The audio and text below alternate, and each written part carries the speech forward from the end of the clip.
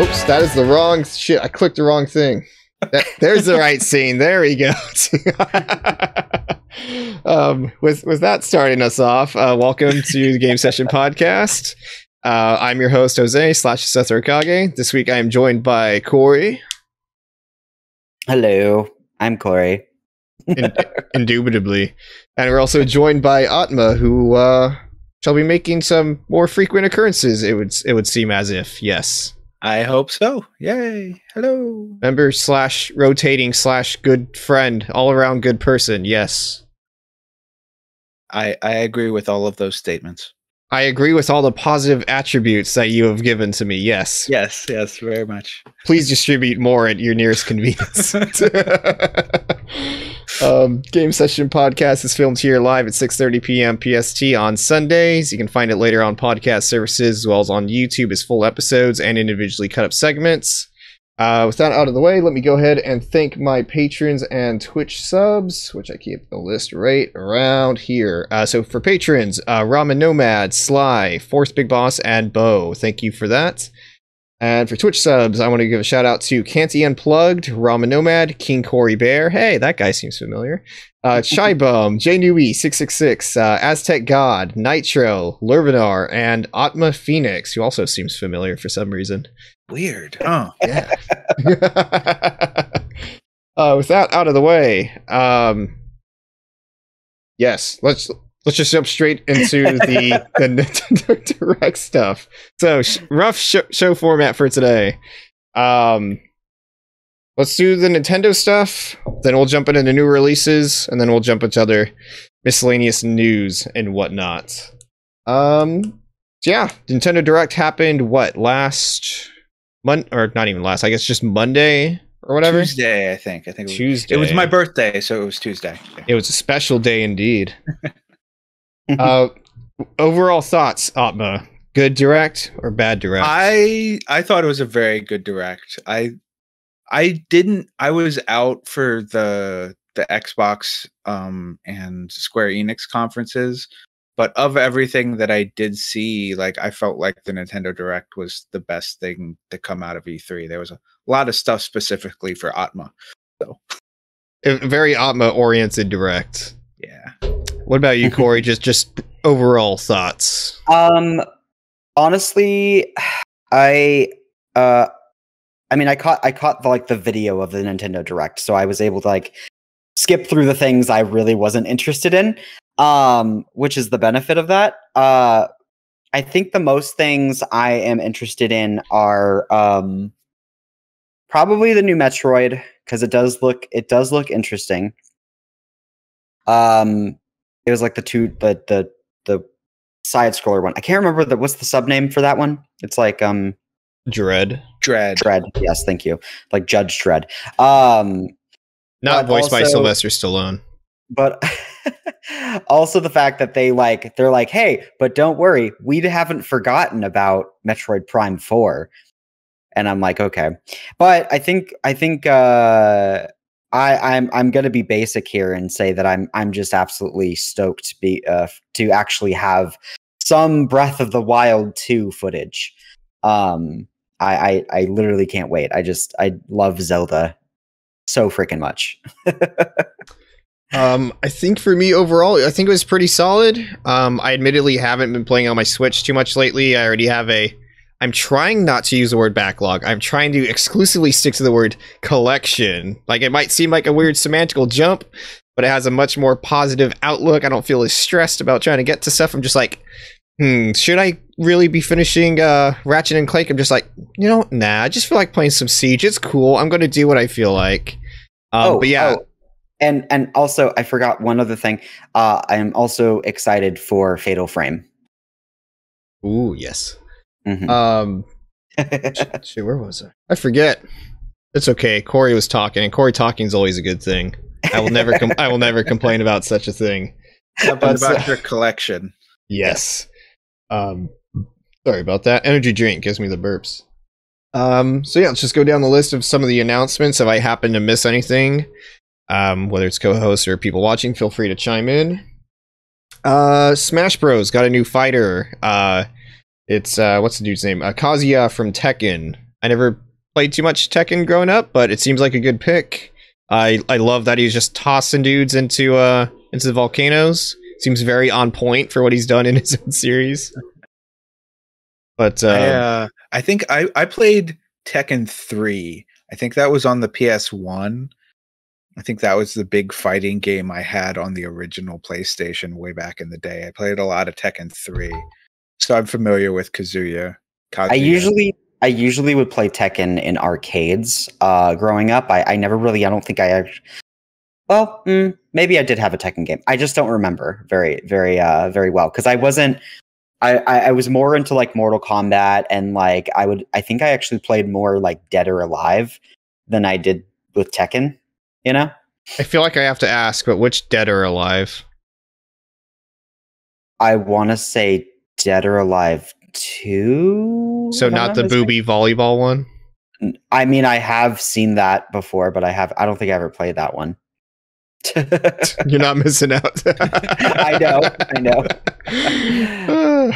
oh my goodness. Um, yeah. Um, I haven't played Smash in a quick minute. I I loved Smash growing up, but I uh, didn't necessarily have too many people locally to play with. But uh, Corey's right around the corner, so that might change. I'll have to put Corey in his place. I haven't played Smash in a while, so you probably very well might. but uh, um, uh, yeah, yeah. I mean, cool character. Uh, I'm just, I'm just waiting for Sora to be thrown into Smash. It just has to. It is crazy to me that they, one more chance. it's like the obvious yeah. choice, right? I mean, it's just they keep. Uh, here's my here's my issue. They keep throwing in Fire Emblem characters or slash anime characters. Uh, or they keep throwing in like actual like fighting game characters which makes sense i understand like it's a it's a fighting game but like you're talking about a game that has freaking like mario and sonic and like metal gear and like at, like in in the same game like think more outside the box nintendo don't just put fight don't put fighters in a fighting game like come on Like, I, I don't know. I think they could use like maybe like ten extra Fire Emblem characters. Oh yeah, just at least at least ten more. There's so many more Fire Emblem characters, you know. Yeah. I mean, you get like thirty allies in each game. Why not just shove all of them in there? Yeah. Yeah. Get get some more freaking incest and eugenics going on. And yeah, I don't think I've had the Fire Emblem discussion with either of you, but there's some there's some messed up shit in there. Um, well, I, under, I, I understand they really wanted to draw in the Fire Emblem community because um, there is a big following for Fire Emblem. Like, let's be honest. So they wanted they wanted Fire Emblem players to have a reason to actually enjoy playing Smash Brothers. There, so. it, it is not a coincidence that Fire Emblem was financially saved the second they put in dating elements in there. Mm-hmm. Wait, what, what are people saying in chat? Um, uh, Waypoint set CJ, our, our buddy CJ on from last week, says for suggestions to be Master Chief, Kazuma Kiryu, CJ from San Andreas need to be in Smash. Hell yeah. Oh CJ's ultimate is is a train and he has to catch up to it or something. Or that maybe is number true. Uh, Canty Unplugged did make a statement saying dating elements improve all games. That's a fact, actually. Um, yeah.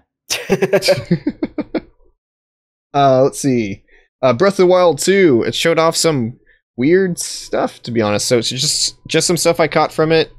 Is uh, there's a lot of falling from the sky, kind of like in the same vein as Skyward Sword.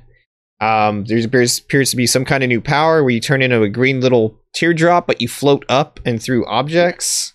There's a bunch of sky land masses, once again, kind of like Skyward Sword, which is kind of making me see why they're remastering that one in particular. Uh, set for 2022, and apparently you can have a flamethrower, which is pretty cool. Yeah, like it suddenly with seeing that footage, it makes sense why they are doing a remaster of Skyward Sword because mm-hmm. they are extending the map of uh, Hyrule to now include the sky. So it's like, you know, here yeah. we are. What about you, Atma? Any thoughts on Breath of the Wild 2? Uh, so I am one of those strange, weird people that did not like Breath of the Wild. Um, so I have no thoughts, head empty. I am I am Uh, curious, and and more power to you because I I don't think that's strange at all. I have heard of people like not liking it. What is your reasoning? I would like. I'm curious. Um, so I really like the normal Zelda formula. And like I know a lot of people really enjoyed Breath of the Wild because it broke the sort of tedium of going to a dungeon, getting the thing, using it in the dungeon, going to the next dungeon. And like the open world and just being able to climb everywhere, do everything, like not having any direction whatsoever was like a freedom for a lot of people and I have realized I like a little bit of direction in my games, and I like Zelda's formula because you don't get that in any other game. Like there's Darksiders, and there was like 3D dot game heroes on the PS3, Mhm. and That's a deep cut right there. Thank you. Yeah, yeah. and I got it because I like Zelda like games and things like that where you have dungeons and things. And so I played like two, three hours of Breath of the Wild. I finished the first, I got all the stuff and left the plateau and I started wandering around and I was like, I don't know what to do. yeah. Oh God. I don't, I, and I have, and I had like no motivation to actually go anywhere either. And I, Mhm. I think like I just the open world didn't click with me the way it does in other games and so I just ended up dropping it and like I'm happy for everyone who loved the first one and getting their sequel and I'm excited to see if maybe this one does new things that draw me in. I'm Mhm. always up for trying it but for now just And I, I, I, I totally. That's totally valid, and that's I totally get that. Um, because because literally there have been games. By similar example, uh, I, I the last Assassin's Creed game I ever played was was Black Flag. I literally turned on uh, Odyssey. I played like the first couple of like missions. I looked at the map. I just set down my controller and I walked away. I literally like it is beyond massive and it's just it's one of those things that i just wasn't invested enough in to give it that much time that it needed. Right. um and so i i totally get that uh i love i i'm i'm i'm of the like mind of, of i like the linear i like i like zelda being a little open world and having that linear path like okay this is i i know what to do next but i can still kind of go off and do extra stuff here but not to the point where I, you get completely lost you know? Um so i understand i understand It's really funny that you picked Assassin's Creed Odyssey because I spent like 110 hours in that game and that one just drew me in because I I love Yeah. Greek mythology so I was just like Yeah. 100% all in on ancient Greece and like I was doing Yes. everything in that game. So I, I think it's funny you point to uh, Odyssey as a as an example because um, th- there's like two modes and there's like there's like exploration and then I forget if they just call it like classic where it's like do you want waypoints exactly where you're supposed to go or do you want like a hint for the region you have to go there you have to scout it out and um, so I guess like kind of like Breath of the Wild versus like more traditional and like I started off in that Breath of the Wild, just like, yeah, tell me the rough region, I'll scout with my hawk. And just like after like 10 hours, I'm just like, yeah, no, fuck it. I just let, let, let's streamline this a little bit. if you think like- about it though if you think about it though this isn't the first uh as far as zelda this isn't the first open world zelda we've gotten because uh wind waker was pretty open world And you were on a boat, and you're on a boat and the motherfucker. and, and the I'm on a and the, and the soundtrack on while you're on the ocean is just Right. Fucking beautiful. I, I think a lot of the issues for me with Breath of the Wild, and I think I've played it to completion with like all the shrines whatnot like three times. I'm, I'm, I'm kind of obsessive with that. i did it Um, once and i was good I was- did it. this is going to sound bad, and I've talked about it before. I did not enjoy my first playthrough, and then I'm just like these systems and mechanics, and just like how everything's entirely way too open. There's not much of a narrative hook. Like none of that clicked with me. But until like maybe like the 80% mark of the first playthrough, I'm just like, oh yes, this makes sense now. I'm gonna travel. I'm gonna I'm gonna look at the map, see if there's any weird little divots or anything like Mhm. out of the no- ordinary. Because then I'm gonna be like, there's a fucking Korok seed there. I fucking know it. And sure enough, you show up there, you see a rock out of place. You're like, yeah, I know what's going on. Mhm. Um, but yeah, I think Um, I think I'd prefer like a more traditional Zelda setup. I guess. yeah yeah, and that's fair. I think I, I have a feeling they're they're gonna keep. I, I don't think they're gonna keep things completely the same because I feel like if they just literally reuse the whole the, the same map over again, it would literally just shut down so many players and like no i'm not i'm not doing this shit again. Like i don't want to do all this shit all the same shit and i see all the same stuff all over again.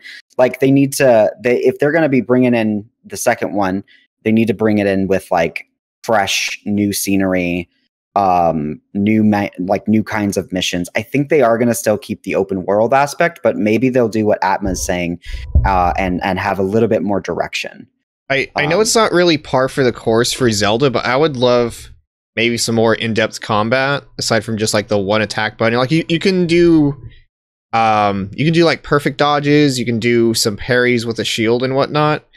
But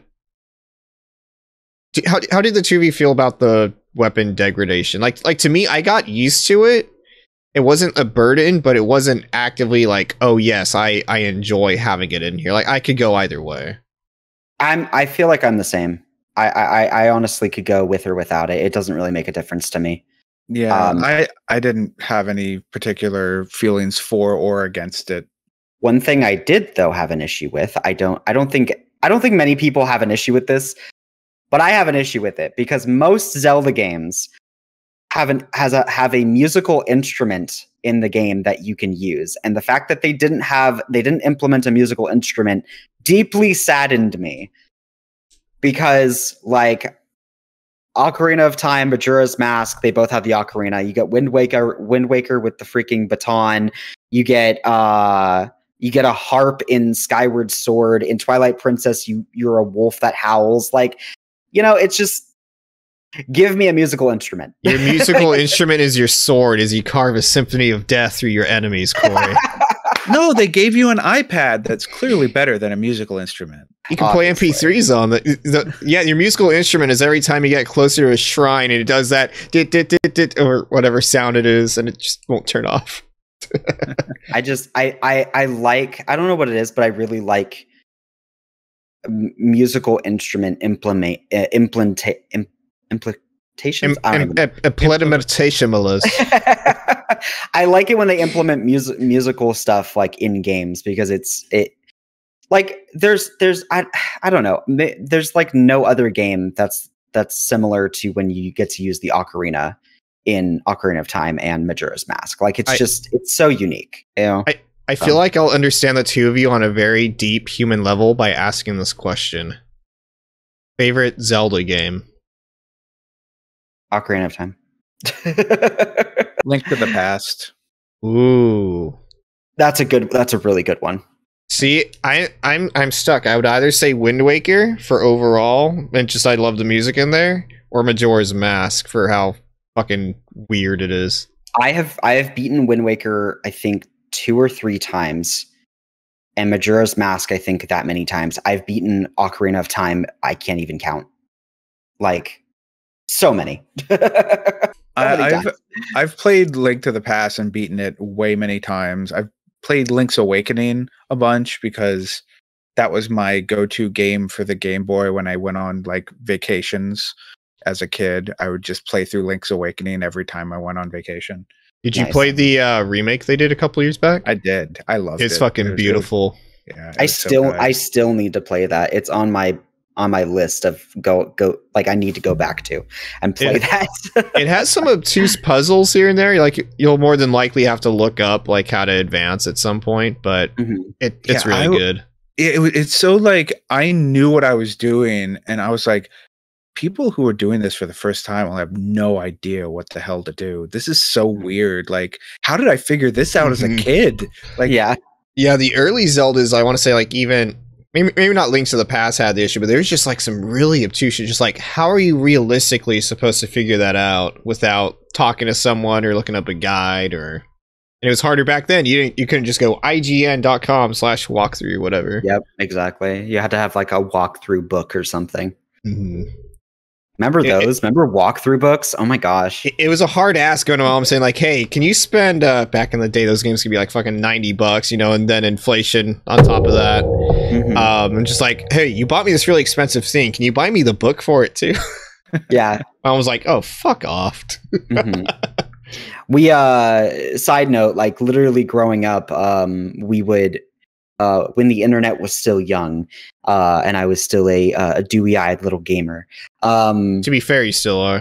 i still am thank you uh but uh my my my brother or my mom would uh print out like you know how when people would like li- i mean people still do it nowadays but like you know how when people would ear- early on they would type entire like custom walkthroughs of like in like html format and then you could print that out on your home printer and like just go through it. We would do that for like all like uh horror games or like you know like silent hill like the original silent hills when we were going through them.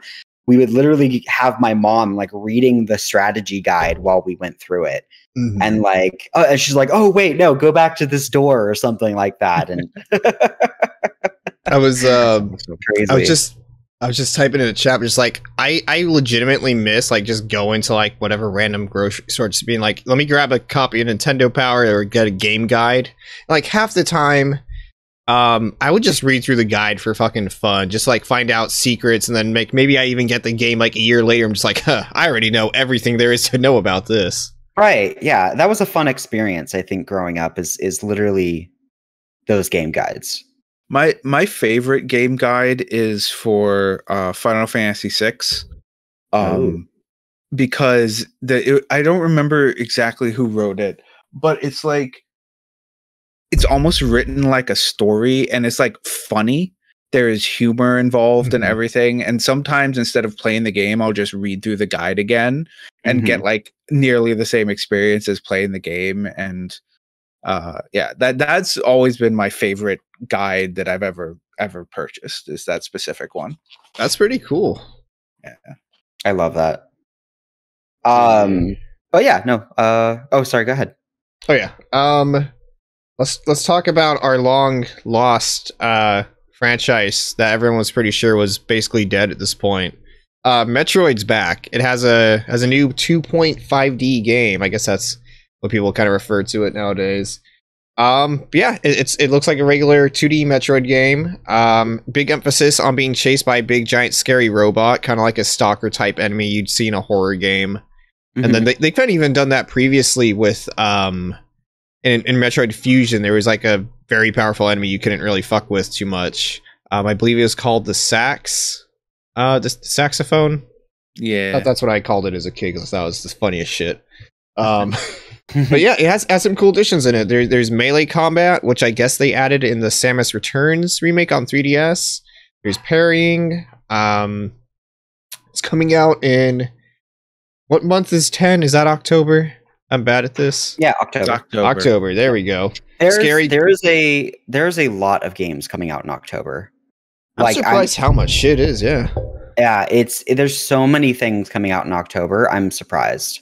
But I mean at the same time I'm not surprised because it seems like Q3 and Q4 of 2021 is like a lot of like the game release windows, not just for the holiday season, but like because the pandemic pushed so many things back, you know? mm-hmm.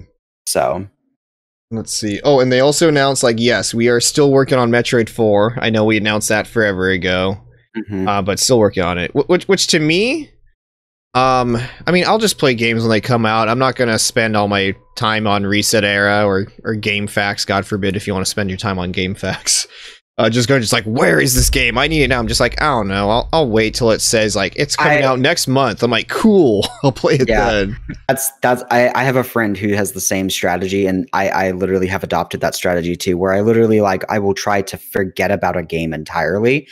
And then it's like, oh, guess what? It's coming out next month. And I'm just like, oh yay, hype. Let's go. Mhm. Like But even on like the other end, just like even pragmatically speaking, I'm just like, yeah, maybe don't announce your game like entirely way too ahead because then you know you're gonna deal with people that are just gonna harass you the whole time. Just just wait till it's done, basically. yeah, exactly. Ah.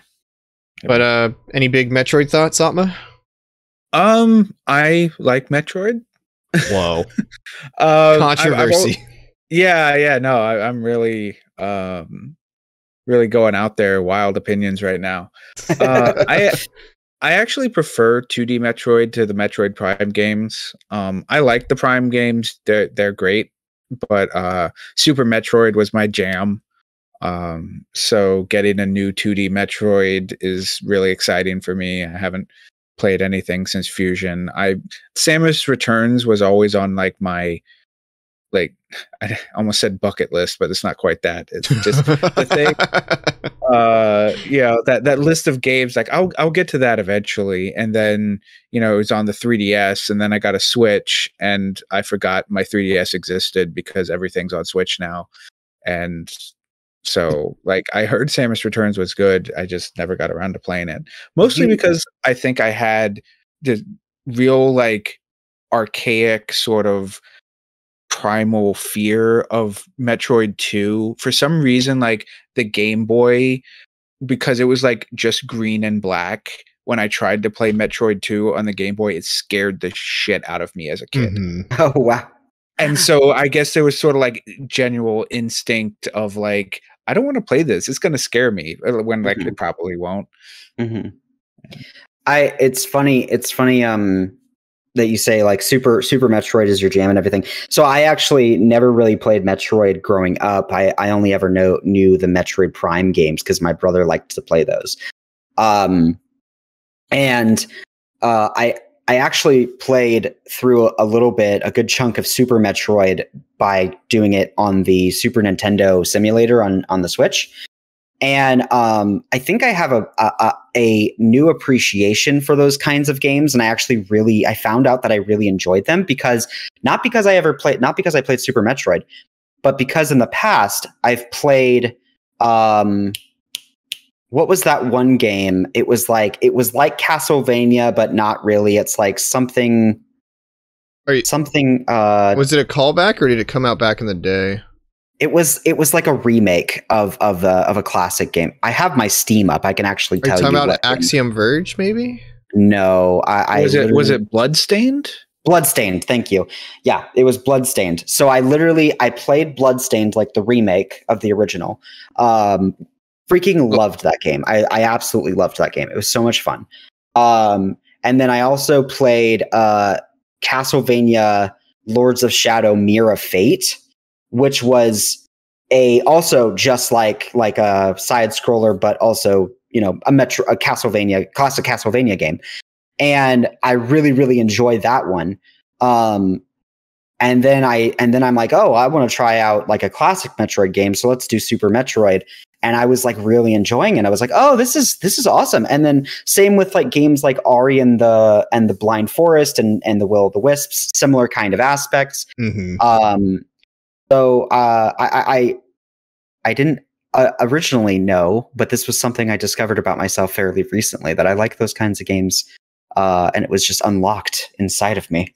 So I, the, the the most important question I have to ask: Have you Mhm. played Hollow Knight? I- I have a little bit, so I've I did I got I think I got through like two parts of it, and I got stuck, and I haven't gone back since. I so I I think it's one of those things that I literally have forgotten all about it, and I just need to start it over and go and go and do it fresh. It is I- definitely easy to get stuck in that. I have a lot of anxiety about starting Hollow Knight because like I love the Souls games, but I have to like really hype myself up to be like be in the mood for them. I'm just like, oh fuck, this is gonna be a hard time. I'm gonna have to Google some shit. Mhm. I'm just like, I gotta prepare myself. And like Hollow Knight is like, I, I kind of know like the rough format it's gonna be going for. I'm just like, yeah, it's gonna be some new stuff I have to get used to. I'm just like, eh. But I'll, I'll, I'll play it not- eventually.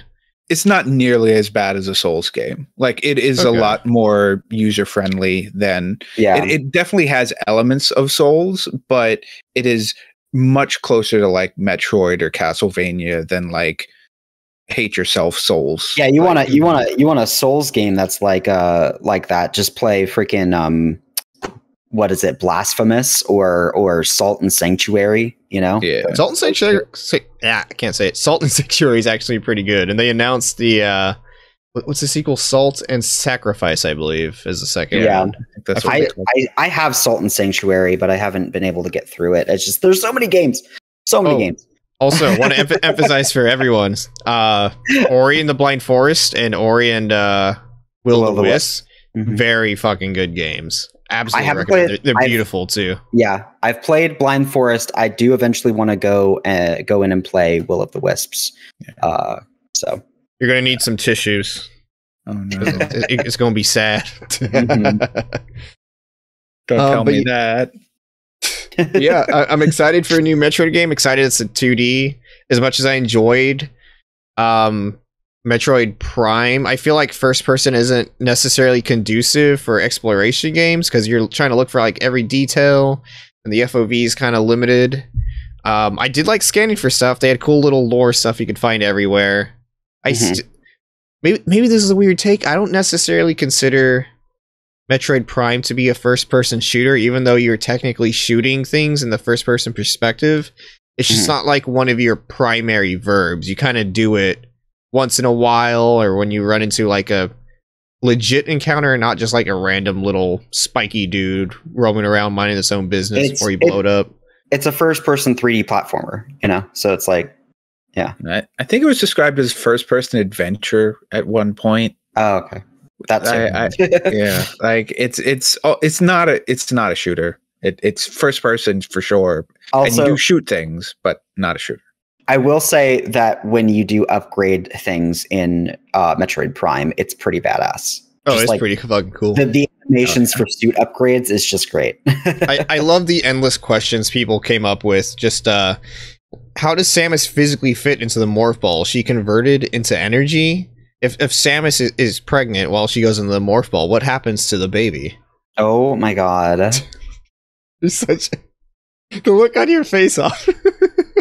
Why why do people no stop For what it's worth, I didn't come up with it. This- This is just shit I've seen. First of all, Sam Samus is very careful and she's not just going to get pregnant and go on a mission. I'm sorry. Like you crazy. You crazy. Be responsible. Be responsible. Uh, don't play other Uh, M. Apparently, other M's bad. I I've kind of steered clear. yeah i've Could not I- played other m Before we jump into the next topic, could I jump into a, a, a news topic of my own? I grant the king permission. Okay. I, So uh, I have a news topic, um, very brief. Um, basically, if anybody knows about the game uh, Abandoned, that was announced, I believe, in April, if I'm not mistaken. Abandoned was announced in April, and this is when we get into Corey conspiracy, Corey's conspiracy corner. This is what I like to call. uh, and and uh, the reason it's a conspiracy is because I'm just going to flat out say this, and I've watched enough information on it, and I've looked up all this information that I am like almost certain it is a Silent Hill game. Um, I am almost certain because here's here's the thing. Uh, Hid- Hideo Kojima does this shit over and over and over and over and over again. oh, qu- Where- quick question: I- Is this a blue box thing? Yes, it is a blue box thing. the blue box thing It's Blue Box thing because Blue Box is a new, very, very new company, and they've only ever published like one or like apparently seven games, but you can't find any information about them online. There's nothing online about them. Uh, If there is, it's very minuscule. Um, also, Hideo Kojima, literally in his like in his director's cut trailer, um, the main character of Death Stranding was dressed in blue and then put himself in a box, blue box, you know? And I know this is really starting to sound like I'm on a whiteboard and I'm like, That's guys, exactly- believe me. the dots they all connect. yes. but like, no, but like, but like for real, like literally there's been ramping up of Silent Hill as well. Like literally Dead by Daylight got, got Silent Hill. Um, uh, the freaking, that 3D horror Pac-Man game, I can't remember what it's called, Dark Deception, right? Yeah. That they got a Silent Hill uh, chapter in there. Um, they're coming out with new Silent Hill merch. Uh, I think they actually just revealed today that they have new Silent Hill merch.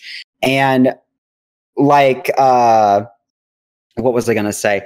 Um, there's just there's there's a lot of winking and there's a lot of coy nodding and things between Hideo Kojima, Geoff uh, Geoff Keighley, and Blue Box, and and all this stuff, and everyone's just like really hush hush, but they're just like they're throwing out all these little tiny hints here and there, and they literally Blue Box actually did a tweet. They actually did a tweet where they're like, uh, abandoned. Uh, aban- or abandoned. Guess the real name. First letter S, last letter L.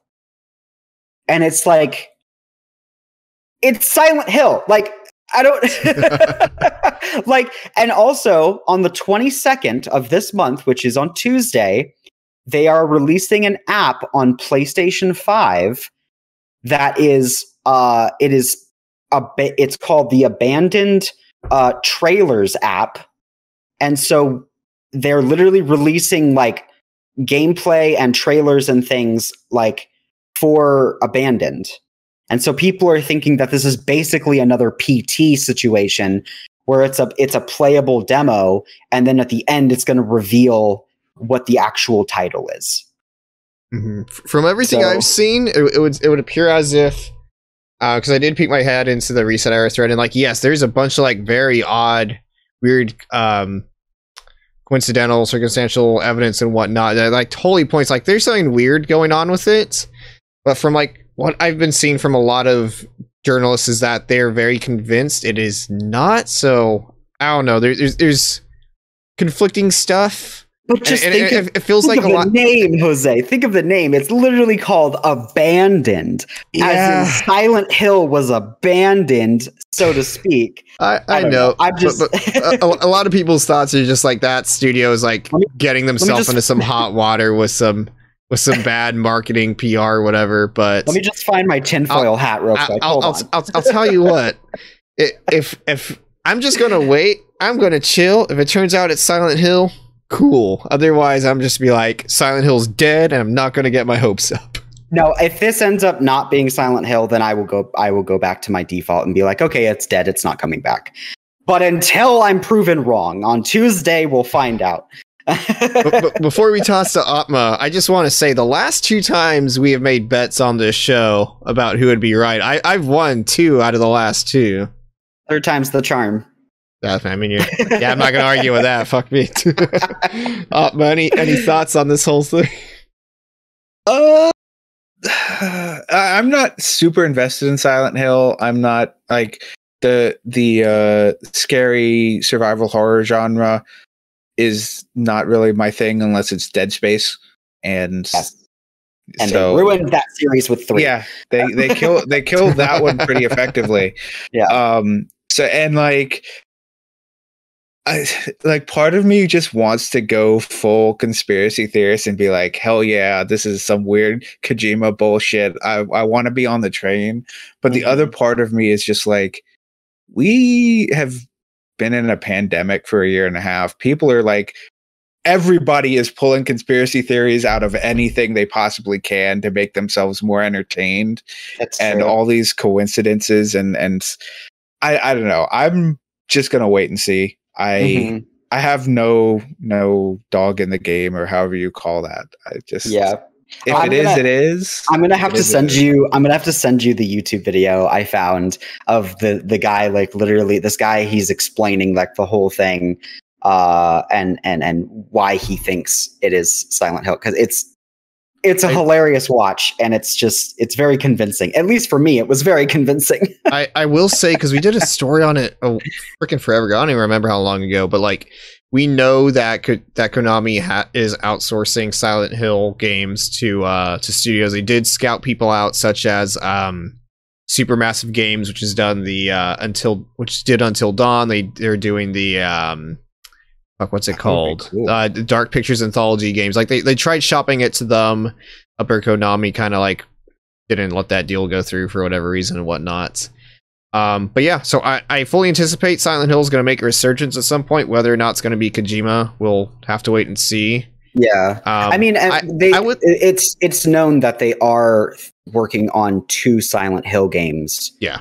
Um, so it's just a matter of time, whether it be we find out on Tuesday or a, a year or two from now. Who knows? You know. I, I'll I'll put it this way because Kenny Unplugged is kind of going off the same vibe.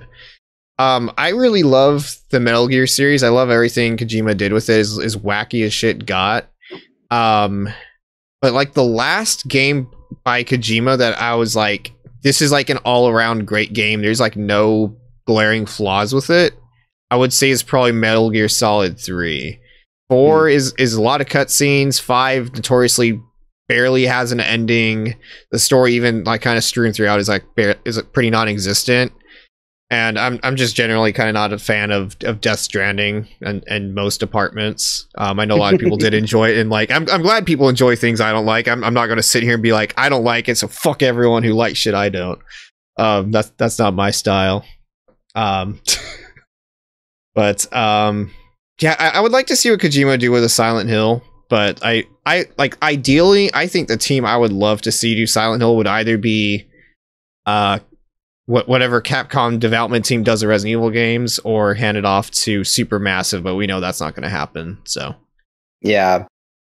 No, I, I mean honestly, yeah, same. Like honestly, if they if Konami was smart and they would just swallow their freaking pride, uh, and just give their i give at least the IP of Silent Hill to to uh Capcom, I think they would probably do a, like do pretty well with it. Um, I don't th- I don't think they would I don't think knowing full well I think I don't think they would be like looking to make it a Resident Evil clone. I think like uh they actually listen to their fan base, so that's something. Every everyone's gonna get excited for Kojima's Silent Hill, Mhm. and then it's there's gonna be like three hour cutscenes where you learn about the history of Silent Hill Man, Mhm. and everyone is going to regret the decisions. yeah. But it'll be fucking beautiful. Uh, let's um let's go and move on to the next one. This one's going to be um the rest of these are kind of like mostly in order and whatnot. These are kind of like some of the smaller stuff. We went over the went over the big stuff. Uh Life is Strange, the remastered collection's coming to Switch as well as True Colors. Um very excited for True Colors. I'm not sure if I'll be playing it on the Switch, but uh little mini rant about this. Um so I, I understand that Life is Strange 2 um i don't know if it's 4k 60 or whatever but like obviously as a sequel it runs a little bit better looks a little bit better than the original games but it's very odd to me that the remastered collection for um for life is strange only has the first game and before the storm and they're getting like improved visuals they're getting new animations um facial capture and whatnot to uh i don't know if it's even bringing it up to par as much as like just make it better across the board Mhm. um, but like, I, it it kind of actively annoys me that they're not giving two that same treatment, so to to make it also better with improved visuals. And uh, I'm just like, man, it's, Life is Strange two really hit a very specific chord with me growing up as um of, of a child of an immigrant, and just like pe people, and we talked about it, I believe last time, um, last show, just like I think a lot of people need to play Life is Strange 2 because it's just like, yes, this is what it's like growing up as a minority in uh in America. Like it may seem cartoonish when you have a big angry white dude going, you I don't I don't even remember exactly the stuff, but like it, it's kind of cartoonish in the way that they approach you with racism. But it's like at the end of the day, I'm just like, yes, it might seem cartoonish and unrealistic, but that's exactly how that shit goes down. There there's a wide spectrum of racism that Mhm. uh that people can face, especially from my background. Um the the way the way that what was I going to say? Uh, it was like the way that I that I understood is that um, it, it does suck, but at the same time, I think for looking from like a fiscal perspective, uh, Life is Strange Two is the newest of bef- before the recent one. It's the newest one of the series, and I think that Life is Strange Before the Storm and Life is Strange the the first season is is old enough to to to need a to need a proper remaster and also like they're not losing as much money if they were to include Life is Strange 2 in that bundle. Um Yeah, like I there's think- no there's no doubt in my mind that at some point down the road they're going to have a Life is Strange like collection like box set. Mhm. Um like, like that's why I kind of like cooled down on it over the last day because like when me and Mesan were talking about it, um, I think it was yesterday or the day before that. I was just like, damn, people really care more about blue haired girl being a really shitty friend to you than they do about a Mexican kid going facing a lot of racism. That's kind of fucked up. Mm. Um, but yeah, I, I I can see the the financial reasons and whatnot. It it just feels weird to have it labeled as the collection, and then you know you have the protagonist from Life is Strange hanging out with uh, the new protagonist from three. I'm just like, oh yeah, I guess fuck my boy Sean. We can only have one minority on the screen at a time, I guess. yeah, I see. I can see that point. That's that's shitty. That's yeah. That's real Yeah. shitty. Either way, play Life is Strange. It's a good series. Uh, Yeah. play play, play Even all the- of them. even though the advertises even though the advertises advertisers jesus christ i can't talk um Boy, life sure is strange, huh, Corey? yeah no i was gonna say even though the advertisers uh and and uh planners of the collections aren't necessarily thinking of the social aspect of it but more of the fiscal aspect of it so, also- and that's the thing, and that's the thing they like to tote around, like, oh, it wasn't personal; it's just about our bottom line. Oopsie, like, yeah, and e- even that like optically isn't a great look. Um, like I can Mhm. see why they didn't put me tell tell me why, even though tell me why is fucking great because it's literally a different name. oh yeah, it's not um, part of the the universe. So, Yeah. Any any thoughts on uh Life is Strange or Tell Me Why, Atma? Uh, I haven't played them, so I they, they're another on my list of things I need to play. Uh, I, I I really want to get to two, uh, more than one. I I actually I oh I okay I take it back. I played like the first couple episodes of one, and like it was just okay. mhm. I, I it didn't it didn't hit me the same way uh, it did a lot of other people, but I do want to try to and tell me why as well because I think they will be a little more uh, what I'll be interested in and like Mhm. things stories I want to see told. yeah, I, and I will say this: uh, Life is Strange Two has like six different endings. Yeah, It's- I I got insane. mm, they're all kind of sad in their own different way, but I got to really I There, there I is like one- there's one. There's one that's just like ultimate happiness. Like it is still kind of sad, but like there's an ultimate happy one. You know, is it the one where you I don't say anything. Atma hasn't played it. I, I'm trying to think of a way to say it like super vague. We'll talk about it later, Jose. Okay, you That's can talk about it. My earphones are out. oh my gosh, go, go, Jose. What? What do You know when the say? aliens invade and Oh yes, the aliens. Yeah. All right, we're good up, man. All right, put it back in. Put it back in. You're fine. Okay. All right. Oh my gosh, Jesus Christ, I love you, Corey. You, you're I love you beautiful. too. You're a beautiful individual. Um, Guardians of the Galaxy is also coming to the Switch, albeit Mm. it's um it's only going to be streaming. It's not you're not going to be able to play it natively. And apparently, uh, sw- Switch streaming games aren't necessarily a great way to do it, even just compared to like normal streaming. And then, I, I guess you can get like a third party Ethernet adapter, but like natively, you're not going to be able to have like a direct input to um to your router or whatever. So even with that on top of that, it's also kind of a worse deal. Because why come out with a better console when you can just make convoluted ways of people to do it themselves? I, I, I think it just like basically comes out if you have like any other way to play this, just do that. hmm Uh, yeah, ha- has like I know they did this for Hitman 3 and Control. Like has there been any sort of feedback on whether it was actually worth it to even do that or I honestly don't think most people bothered to even give the feedback because I think Resident Evil Seven was like one of the first ones they did. I could be wrong, but yeah, I, I wouldn't. I personally wouldn't bother. Just just play it on like I, anything. I else. didn't. I didn't even know there was Switch streaming. I, I was unaware. Yeah, you've learned. You are more knowledgeable. hmm If you if you gain enough knowledge, you can convert them into fuel units, and then It- you it- can get Lamborghinis in the Hollywood Hills, Corey.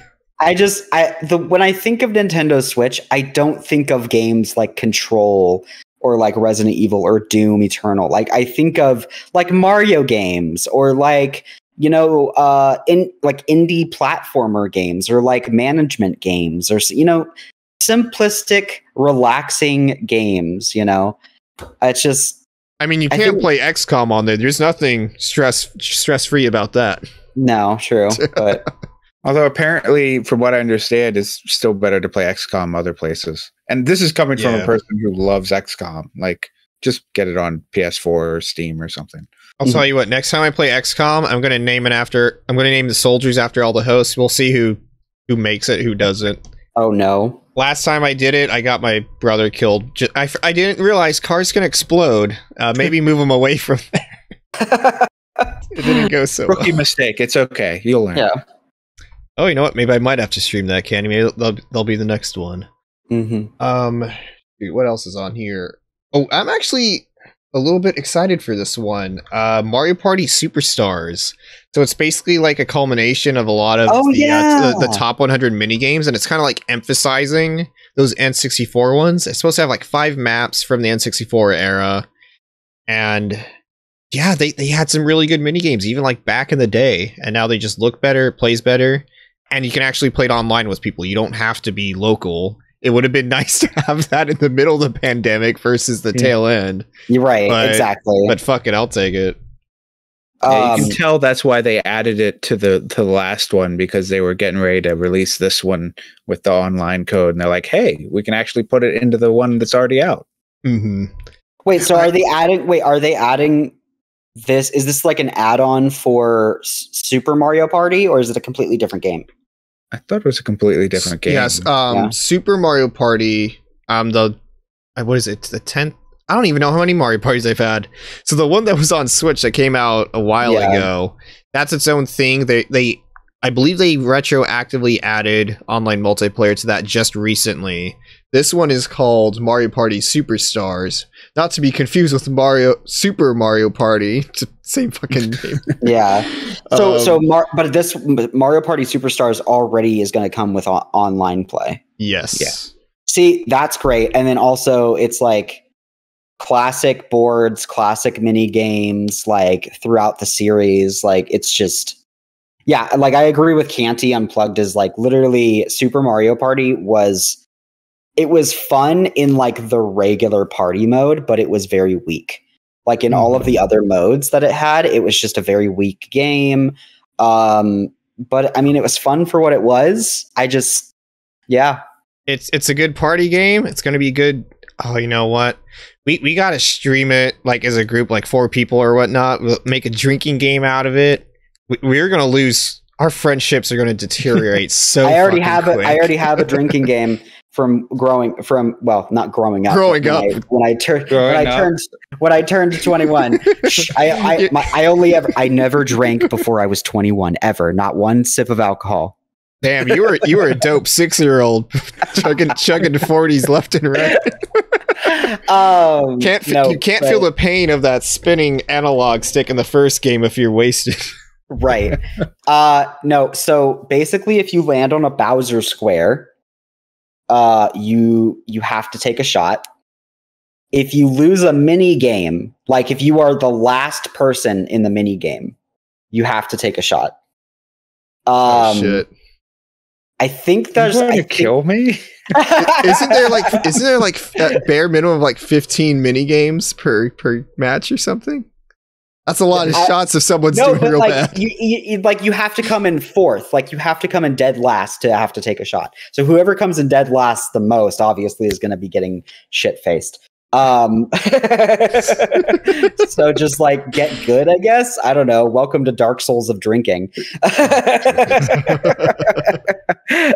I'm gonna get like a big bottle of vodka, fill it with water, and say I'm Yeah. drinking it. wow, wow, life Ant-Man. hacks I- right here. wow. Co- Corey, I- you're trying to kill us. Uh, We could change it to just taking a swig of whatever we're drinking. We don't Mar- Mario Party aside, how, how many shots can you pack away? Like I'm not even. I, dude, I'm 30 now. Okay, I'm not. I'm not even gonna try that shit. Okay. Oh, I but you have- want us to? He, he's just so confident in his Mario Party skills. He knows it's not going to be him that's getting shit faced. Not a single drop of liquor will be hitting Corey's mouth. I don't understand what you mean because, like, literally, it's a luck of the dice. Like, what do you mean? Some like, of those games take some skill. I, That's true. I, I if you shit get you not. if you get items, you have to like use them strategically. I, so I, I shit you not. There, there's a friend of a friend that we would play Mario Party at um at my at my buddy's house, and just like this dude was like legitimately fucking MLG at Mario Party. He did not lose a single fucking mini game. He was on, on fucking point. I'm just like, this, this guy's on another, another level. If they if they have, uh, what's it called? It, if they have like an Evo equivalent for Mario Party, this this dude would be reigning champ all day every day. I would love, I would love to do like a Mario Party tournament with this new Mario Party game coming out. I would love to do that I'm- and stream it. I'm telling you, we have to do that drunk stream. We can have cameras in each corner. Everyone getting wasted. It's gonna be a good time. Yes, exactly. We'll have we'll have four webcams, uh, one webcam each on uh, on each person, and then like you know it'll be great. We're gonna get to like the 18th turn, and like two cameras are gonna be normal, and then one's gonna be like pointed down on the ground, and someone's just gonna be like lying on the ground. I'm, like, I'm, I'm, we're gonna can't do slowly rotate. Yep. Oh, jeez. I'm that's I, I'm actually very excited for this. It's it's gonna be dope. Uh, they also All announced uh, WarioWare Get It Together. It's a, another collection of uh, new micro games, and it's uh, going to have co-op. Uh, it looks super silly. I've never I've never played a WarioWare WarioWare in my life, but I had friends who did, and they always just seemed like very um just you know like just like a like a like a goofy game. You know, Mhm. They're they're, they're very fun. They're very frantic. Like each micro game is like literally like five seconds or less. And like Mhm. as, as you as you keep advancing through them, the timer gets shorter and shorter and shorter. And oh jeez. I, I played the hell out of um out of the DS one. It, it's a it's a friggin' good time. Mhm. Um, I might the I might pick this one up. I might pick it up. the only time I've played WarioWare is when I've played it in Smash Brothers on like the WarioWare stage that includes the mini games. Uh, yeah. mhm. It's the same idea. Maybe maybe less Mhm. punching of each other.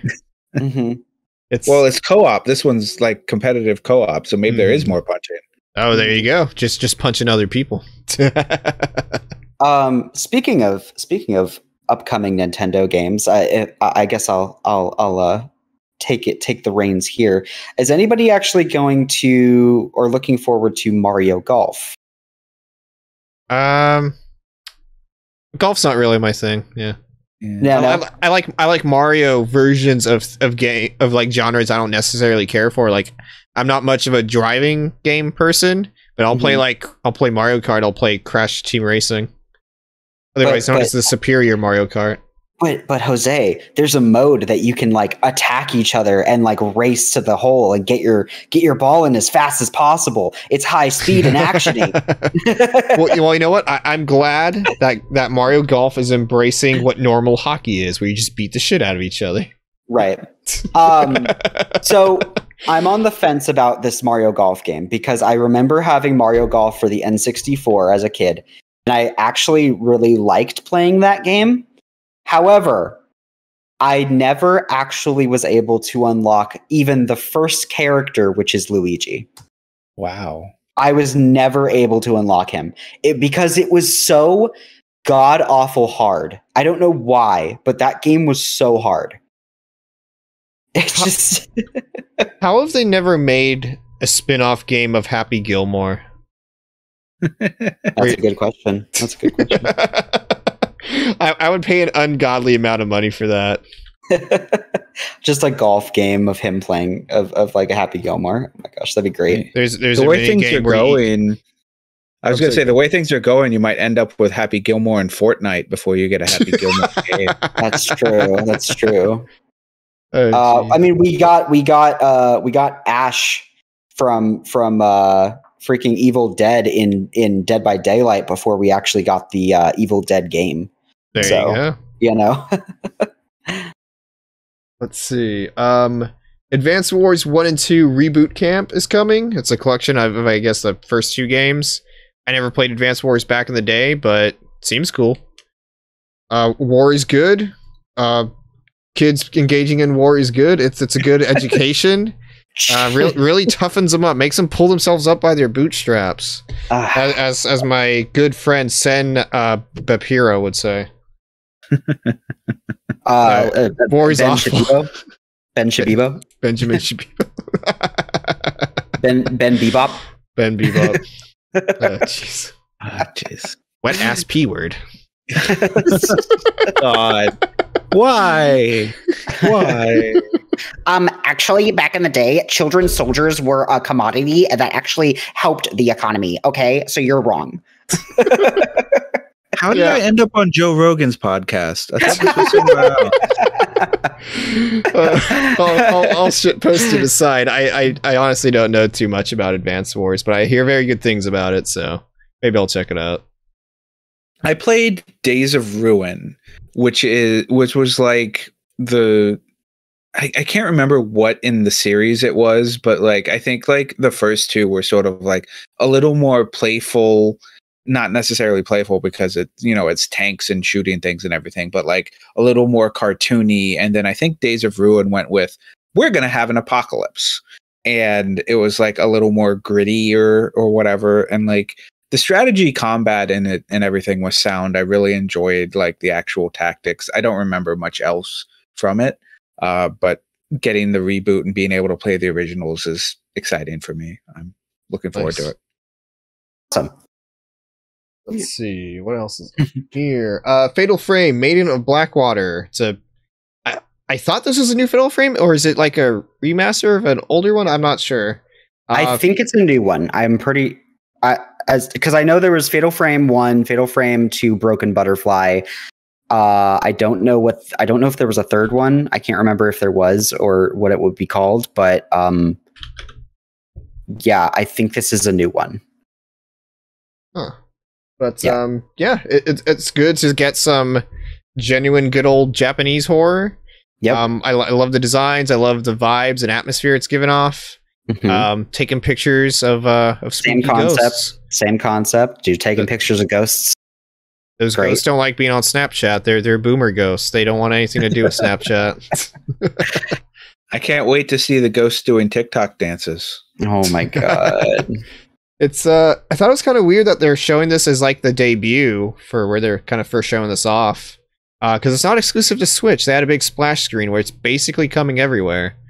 Yeah. But um I don't know, it, it almost kind of feels like on ho- at home on Switch, especially if like if you're playing in handheld, you can like move the camera around. That'd be cool. Yeah, right. Yeah, kind of. Maybe that's why I think Nintendo may have bought the the advertising rights for it then, because it's like it, it makes sense on the Switch. Mhm. Yeah. Um, I've never played any of the other games, but I've always kind of meant to get around to it. I know they're not like super widely available. Mm-mm. Um, but so yeah, probably pick this up at some point. Mhm. have, have you played any of them, Atma? No, no, I, I have not. Again, horror, not really. Not big on the spooks. No, not not growing up. I'm a little more. I I'm willing to like try them now, so I may look into this if it turns out to to review well and and looks good. Um, but growing up, I I st- mo- stayed mostly away from horror. I'm a platformer and RPG person. Makes sense. What What would you say is your cutoff point for for horror? Can like an action game have horror elements? Or Oh yeah, like like I love Alan Wake. Um, oh my god, it was so good. Yeah, like Oh, uh, uh, by, by the way, just real quick, apparently they're they're remastering that. There was some kind of listing. Ooh, we like to see.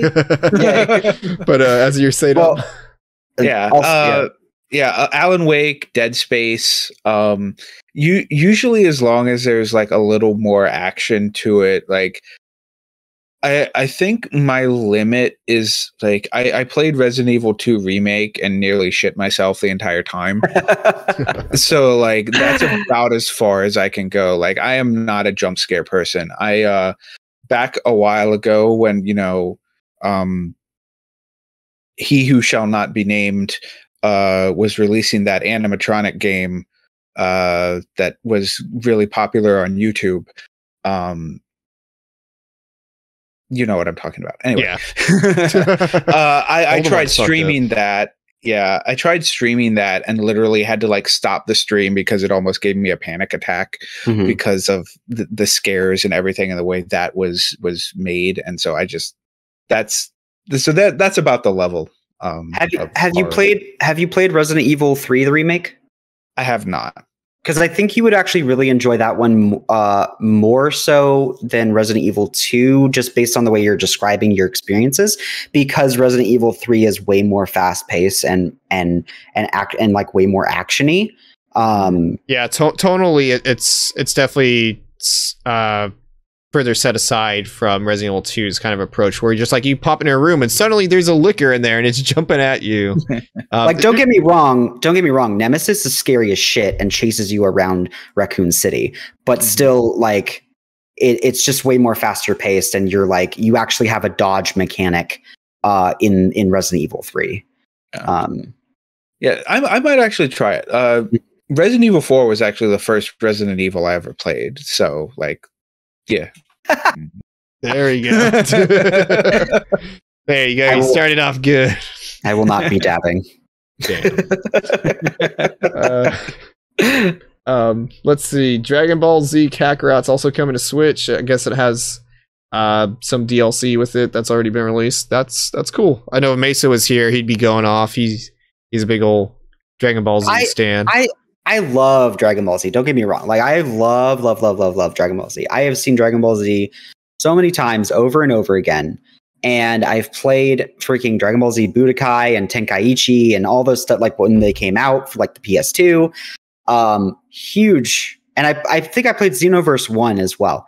But I think now I've just played Hello Kitty. Um, I've just played so many different uh Dragon Ball Z games that I literally, um, you know, I, I, I, I I literally have seen the story over and over again at this point. Also, I'm having serious deja vu right now. I appreciate the Mona on screen up. oh my goodness. okay, okay, Matt, go. Out, Oh, out. Oh, no club. Nope. There we go. Safe. I don't have. I don't have. I don't. Oh wait, no, I do have cat. Hold on. Wait, you should just bring Ish. Have him climb over your shoulder. There, there is cat on chair. Oh, wait, Cat. wait, is that an actual cat? It is an actual cat. Are you cat sitting now? Uh, technically, it- it's our technically it's our roommate's cat because they Oh. adopted it. Yeah. Oh, nice. We has cat now. There's a cool cat corner right here. Mhm. um, but yeah, I, I think I've maybe fallen out of love a little bit with, with Dragon Ball, where I'm just like, I really loved it growing up because they're just like, yeah, big old muscle dudes fucking punching each other. It's fucking cool. Mhm. Um, yeah, I, I mean, I still enjoy it, but I haven't really kept up with Super or anything. Um, maybe maybe I'll check it out if I get it like on a decent sale or something. But like, yeah. given the size of my collection at the moment, I'm just like, eh, it's kind of. it's just like it's one of those things like i've experienced this story so many times in the past already i don't have any uh yearning to experience it all over again you know I I admire their ability to make 50 plus games out of the same story so many times. Mhm. That that is an artistic talent right there. Yep. Be able to do that that many times. Uh, let's see. Uh, Super Monkey Ball Banana Mania. I guess it's 300 recreated stages from the original three Super Monkey Ball games, and it has 12 mini games.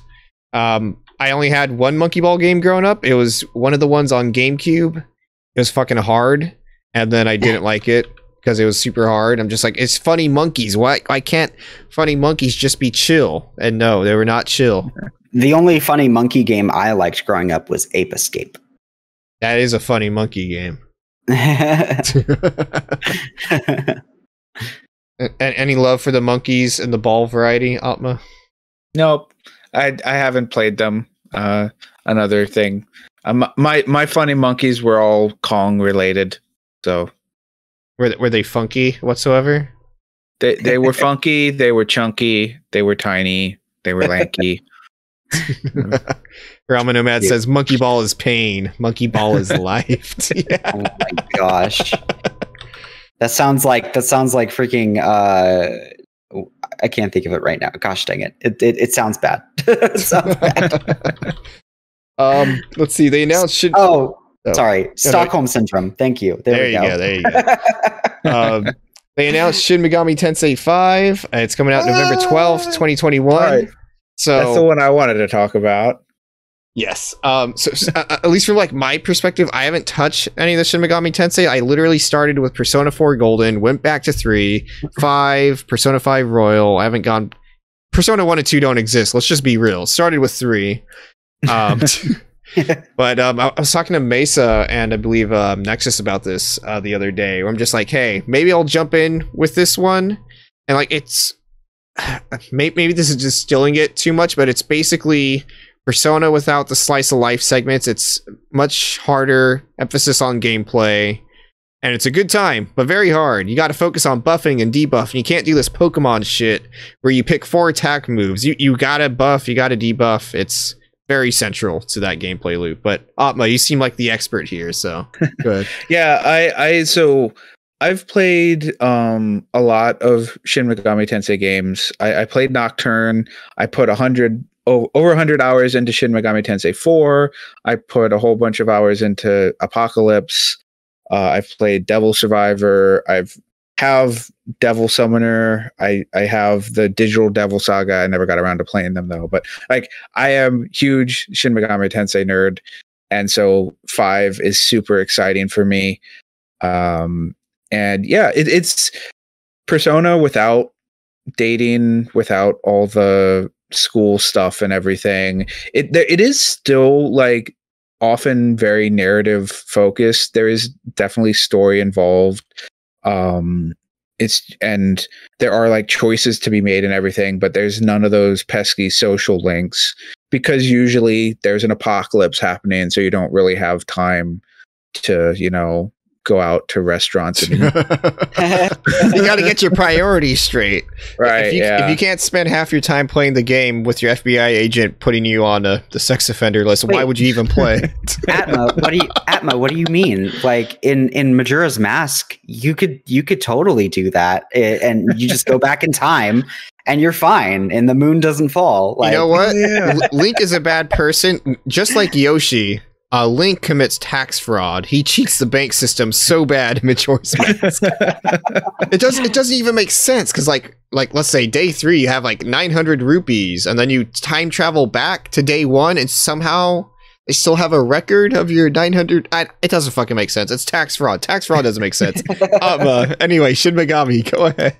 uh, um and it, it's it's fun it's like pokemon uh it's it, the the battle system is very much you have like demons that you uh put in your uh, party and unlike pokemon like instead of like breeding pokemon you fuse your demons and make new demons uh and yeah it's all about getting good debuffs and the right uh elements um most Shin Megami Tensei games use what is called the press turn system. I don't know if five uh, is using it because as soon as I saw the release date, I just was like, okay, I've seen enough. I don't need to watch anything else. Um, so I'm just going in blind because I already know I'm buying it, so I don't need to to know anything else. Uh, but the press turn is basically like if you use the right element against the enemy, you get an extra action and if you chain a bunch of actions together you can like do a whole bunch of damage in one turn because everyone's getting like two or three actions a turn to buff and debuff and attack and all that sort of stuff. And it's very like heavily gameplay focused. And it's really the the Shin Megami Tensei series was a series that made me learn to use buffs and debuffs and like every other RPG because usually it's just does this cost does this cause 9999 damage if it doesn't why am I casting it yeah Right. so It's uh, it is, a big person's uh, RPG. I'm I'm excited to try it out, but uh, I don't know. I, I don't want to say it's like on the back burner, but I just I just have a bunch of stuff to get to. Uh, I'll probably dump five more Persona Five Royal playthroughs in. you know what? No joke. I actually have uh, Persona Five Strikers right here. That uh, it is open. It is installed on my PS5. I just haven't pressed the play button. But it is very good I I played through that as well very good Nice. At first, I was kind of worried because it's a, it's a Musou game. It's uh, I don't necessarily want to say the word brain dead, but it's kind of like a, a numbing, just like go around, beat people up in an arena. But from what I've heard, it actually handles it pretty well. So yeah, it, it it turns it way more into an action RPG and less of a Musou game. Like there's a lot more of like strategically using abilities and everything, especially because like when you pull up magic menus and everything, gameplay pauses. Mhm. So you can like sort of choose what your next move is and everything. And so it's a lot less just button mashy. That's cool. You know, I'm actually noticing looking at the case. I didn't notice this before. Um, they have every line in here on the box in Spanish, also. Just odd, but cool. They usually, I thought they usually have that. Let's see. L- let me grab a random case. Let me let me compare. Another Japanese game. Uh, Kingdom Hearts. Uh, 1.5, 2.5. This is actually my girlfriend's copy. No, no uh, Spanish on here. Sora's a racist little fuck, I guess. oh oh my god. Zero to a hundred. Zero to a hundred. Jesus Christ. He no believes in the Spanish power on the of friend- back of the case. Racist. the power of friendship for me and my people. Oh god. Oh my god. This is why he's not in Smash, Ken, he says. oh no. Jesus Christ. Oh fuck. Where the fuck were we? Um, We were talking Shimigami. Uh, Danganronpa, I guess. Yes, the best game in the world is coming to Switch, and it's um, fuck. Where am I on the on my time codes? I wasn't paying attention. Uh, one. Wait, no shit, wrong key. I don't know how to type right now. Uh, yeah, they announced Danganronpa is coming to the Switch. It's a collection of four games. It is Danganronpa one, two, V three. Danganronpa three is a very different thing. Um, I wish more people would play Danganronpa V3 so I could explain that in greater detail because I don't want to spoil it. But I can't It- nod hard enough. it's so dumb in the smartest way possible. That that specific thing. Am I am I am I thinking of the wrong game? Isn't Danganronpa where you're like rolling around with a giant ball and like you're collecting things? Is that Rolling around at the speed of sound in a ball. That that's Sonic.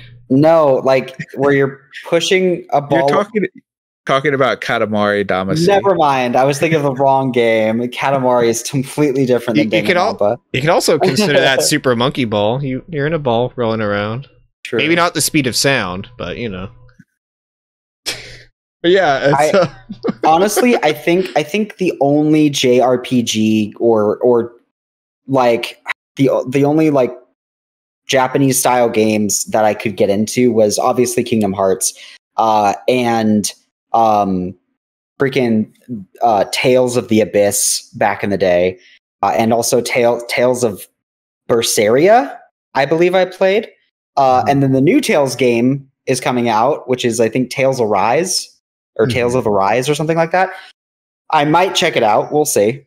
well, for what it's worth, Corey, uh, Danganronpa is not a JRPG, which means it's not for nerds. It, it is a visual novel detective, uh, Phoenix Wright like game. So it means it's only for chads. Oh, okay. Never mind. I, I wasn't into those either. it, it's all good. But yeah, it's uh one two V three, and uh I guess it's called S Ultimate uh Summer Camp, which all, all the Danganronpa games they have these weird little post games where you can these little mini games so you can grind out uh getting these these conversations for characters because you will not have the time to get them in uh in the base game because people have a tendency to be allergic to death. Um, so might not be able to f- finish talking to someone if they die pretty early on. Mhm. Um, and by might I mean they definitely will. Um, Oh. yeah, think it was Danganronpa at the moment is available on PC, uh, PlayStation, or tech, or PS4 and uh, PSP slash Vita. But I would highly recommend Danganronpa to everyone, even if visual novels aren't necessarily your thing. They weren't necessarily my thing before. Um, it's a good mystery mur- murder story. It's very wacky. It goes places. I really wish people would play V3 because there's not enough people out there to talk to you about it. And Atma, you and me got to have a We, we got to get people playing that. We got to have a spoiler cast. Yeah, we have to talk about places. V3. But I'm also, call- two has one of the best characters in gaming of all time. Oh so- yes. Are are you talking? We, we can say name Nagito. yeah, absolutely. Yeah, there we go. We we need to convince more people to to, to play it so we can have spoiler cast. Because oh, even that name. Ah. you know, I, I don't- I don't think Blaine's listening right now. Um, I I put up a very out of context spoiler thing. Like no one could have realistically known where it was coming from. I did it in just like the the description. Don't spoil. I I will not spoil it. But the description I did was so outlandish, no one could possibly have guessed where it comes from. And people just need to play Danganronpa. That's all I'll say. Um, it's so beautiful. So uh, I know that Sarah would kill me if I didn't uh, read off her notes for um, Final Fantasy Origins. Oh, we have Uh, we have one more real quick. Okay. Um, and the, I know I know Kyle would, would murder me if I did not bring this up. Uh, I almost why did I almost say Kevin? It's Kyle. Kevin Kyle. I'll call them both. Um, Tony Hawk's Pro Skater one and two coming to Switch. People love Tony Hawk. Uh, CJ, if you're still listening, I I know you're in love with Tony Hawk. There we go. Tony See- Hawk is really fun. I have it on my PlayStation 4. I I well, you may have Tony Hawk on your PlayStation 4. I have Tony Hawk in my soul. Oh, do you? Yes. I don't even know what Tony Hawk looks like, so I, I believe CJ at one point said Tony Hawk is like on the on the list of top ten white people to ever exist. It's funny because people in real life literally will run into Tony Hawk and and say, "Hey, you know who you look like? You look like that Tony Hawk guy." And and he just like literally he's so funny. He he literally just rolls like he's like, "Huh, that's weird." you know, or so, you know, or something like that. And because he's like he's just done telling people like I I I really am because he's told people straight to their face like, "Oh yeah, I, I am Tony Hawk," and and they're like, "No, you're not." No. I- Is No, it you're- weird that my immediate visual image of Tony Hawk is old Tony Hawk? I don't even remember what young Tony Hawk looks like. I don't either. I don't. He just, I mean, he looks the same. I imagine just more wrinkles. That's pretty much it. Like, Yeah. he he's, he comes off as a chill dude. I I would love to meet him. Kyle, uh, I almost said Kevin again. Kyle has met Tony Hawk. I'm very envious of that. Don't know about his brother Mike though. Yeah. Um, um, yeah, let- let's go into the uh, new releases and whatnot. Um, you want to go ahead and start off with Final Fantasy Origins? And I, I guess Yes. if you want to start off with Sarah's notes, since she isn't. yeah. here. Well, I don't, I don't have any opinions myself with Origins, so I'm just going to read from her. So this is what she says. She says, Well, I'm "Hello, surprised everyone." you haven't touched it. what? I'm surprised you haven't touched it. I thought you'd be all over it. Uh, I'm just not a huge Final Fantasy person. I mean, I loved Final Fantasy 15. Um, You can stop there. yeah. I'm just talking shit. It's all good. Um, so, anyways, this is what Sarah has to say. Hello, everyone. Corey is being lovely and one of the best beans and is delivering my thoughts on the Final Fantasy Origins demo. First of all, do not sit this one out. Origins is a gameplay mixture of Final Fantasy 15 and a Souls game. While it is still incredibly earlier, uh, it is fun and challenging in, in the right way. From seamless talent tree switching with the triangle button, a guard that is incredibly interest interesting. Guarding certain attacks lets you use them against the enemy. Um, and big dudes with giant swords. Uh, obviously, the game still needs work, but my my favorite addition: a difficulty feature. Yes, Origins is a Souls game with a difficulty option. If you pick easy, you also have the ability to turn on casual, which means you die if you die, you don't lose MP gained. I don't want to make this long, but I do want to say I cannot wait to see where Origins goes. Uh, we know I do actually find the character designs interesting, and yes, I say that ready to start chaos. Uh, love Sarah. Um, her description right there, I completely forgot because I had read over it earlier, and I completely forgot that she had said that it was basically Final Fantasy 15 with a uh, mixed with a Souls game, and I might just go play that demo tonight. And, you know, be might check it fortunate. out. be fortunate that you can play the demo because when they released it, I, I don't know how they didn't double check this like on, on their end. Just like when they when they released the demo, it was corrupted. No one could fucking play it.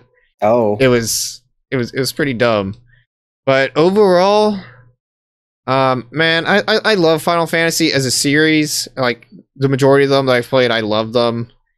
But this this just looks like such a weird mishmash, and not even like in the Kingdom Hearts style. Um, mhm. so I, I would say like I, I haven't played it yet. From what I've seen from the trailers, it plays uh, like like like a slower beat 'em up with some like God of like classic God of War finishing moves.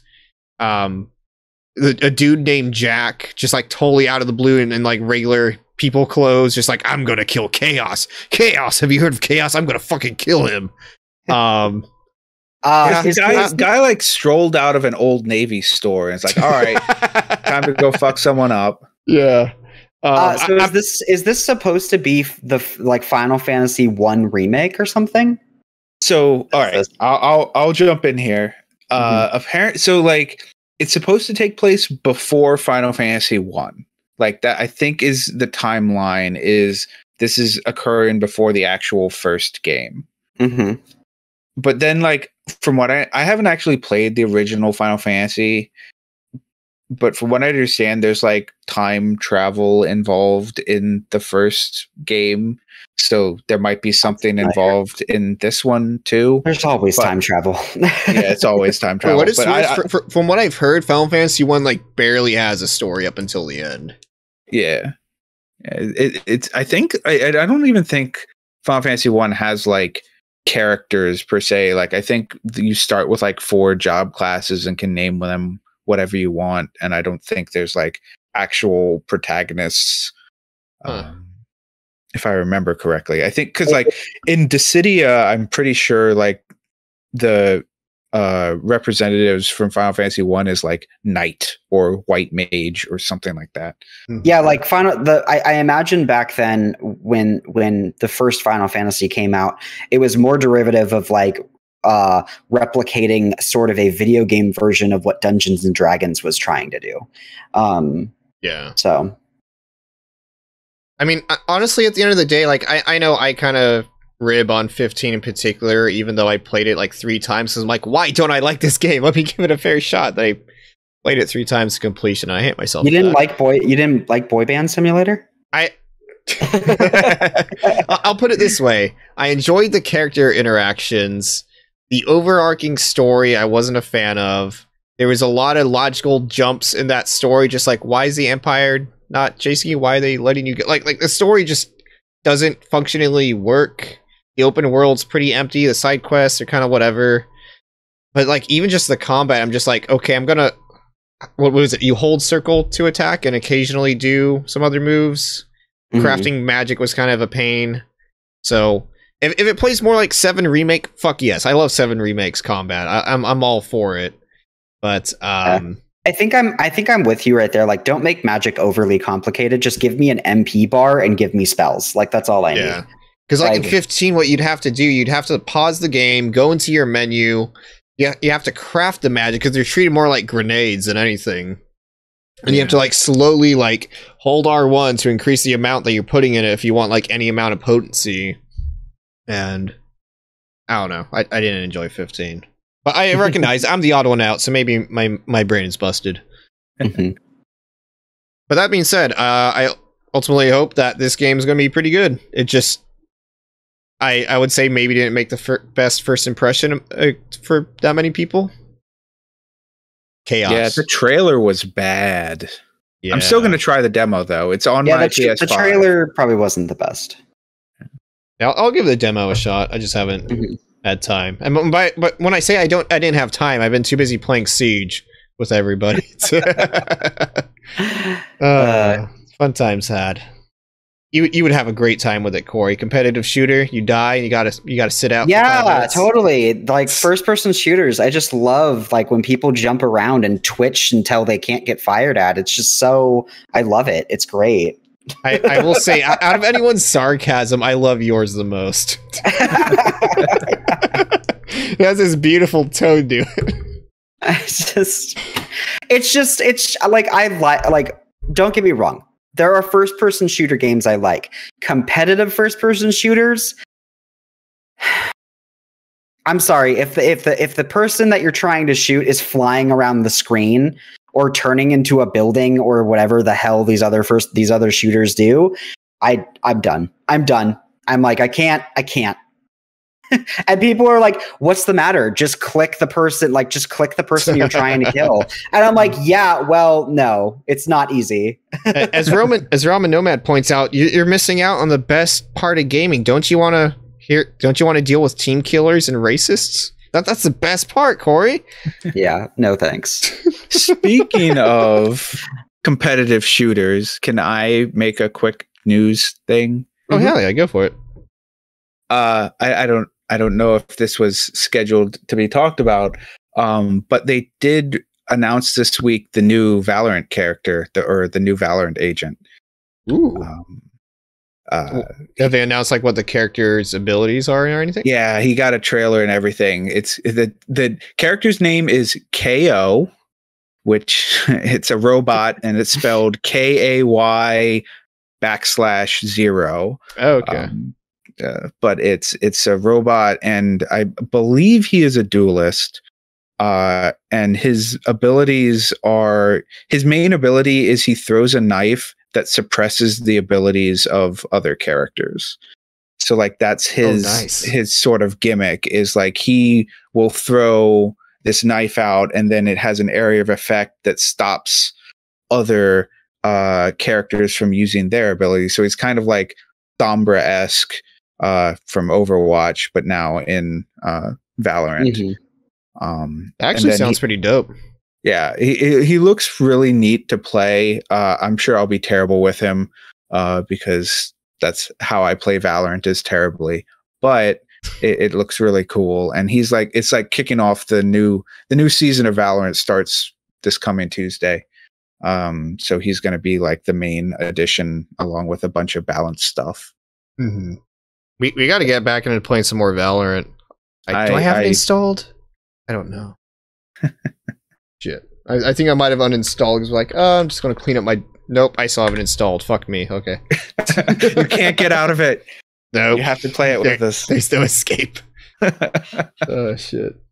Um, has anyone else here played Final Fantasy VII Intergrade, the the PS5 upgrade? Okay. I have it downloaded, but I have to finish Ratchet and Clank first. All right, uh, I I will take over for the Intergrade stuff. Um, so Intergrade is the weird naming convention they're doing for the PS5 upgraded version of Final Fantasy VII remake. So, uh, better resolution, better frame rate. They added textures. That that door that is supposed to look like a door actually looks like a door now. It's just not just this blurry red object where a door is supposed to be. Um, so, so that's nice. Uh, overall, graphically, it's it's still not like, damn, this is a PS5 game. It just looks more uh, consistent for what you would have expected because there it it does look great like as, as a PS4 game, but there's just like small inconsistencies here and there. Um, but with an there's a weird buying system. If you buy Intergrade as a new game, I believe you get the DLC, but if you already own the PS4 game, you get the free upgrade to the PS5 version, but then you have to buy the DLC, which is called Intermission. Why they would use Intermission and Intergrade gets a little confusing. Why they didn't just call it Yuffie's Big Adventure, I don't know. But uh, the DLC plays Yuffie, who is a um, character from the original Final Fantasy game. They're making some weird plot divergences. This isn't necessarily spoilers. This is just stuff in the trailers. The fact that she's even this early in the game, where in the original you don't meet her until like the as an optional character, like in the Forest of Junon, which is much later. Um, they mess with her backstory where she's she's uh there like on official business. Her her father's backstory's changed. It's it's it's kind of weird how some of these plot divergences that are there in Seven Remake are happening like such at a background level. But yeah, it, it's a fun adventure. You you fight some characters from Dirge of Cerberus, uh, that we weren't elaborated on back then because it was kind of retcon back in there. Mm. Um, I, I like her combat, even though it took me a while to get used to it because as a DLC, it's like you press the X or square button to attack, circle is to dodge. But it starts off pretty hard. I'm, I'm not gonna lie. Like I, I have the platinum for Final Fantasy VII Remake. Um, I got pretty damn good at that game. I didn't remember jack shit about that game, about that game loop, about how you're supposed to counter stuff and whatnot. Um, so so it, it was rough going back, and then on top of that, Yuffie has like a very drastically different playstyle compared to Cloud. She's a lot faster. You can swap to magic and infuse certain elements to it. It's it, it's a bit to adjust to, and honestly, I didn't really get into the swing of it. Basically, up until maybe like an hour before it ended. So may- maybe a second playthrough would be a lot better for me. But overall, I- I'd say worth the 20 bucks if you're, if you're paying for it separately. But yeah, overall pretty good. It's more Final Fantasy VII remake. Uh, whoever the fuck is directing those uh, the cinematography, what whatever you want to call the game equivalent of it, deserves a fucking raise. That shit is so stylistically on point. It is fucking beautiful. It is uh top tier anime. Uh, yeah, that, that's about it. It's Final Fantasy VII remake. Yuffie's a cool character. She's a big old dork. It's a nice change of pace from Cloud being a moody boy, also committing tax fraud, uh, identity theft as well. On top of that, that that's twice as bad. Um, um, yeah, it's a good time, especially if you already own it. I'd say go for it. Uh, Atma, you've also been playing Ratchet. Do you want to go ahead and talk about that?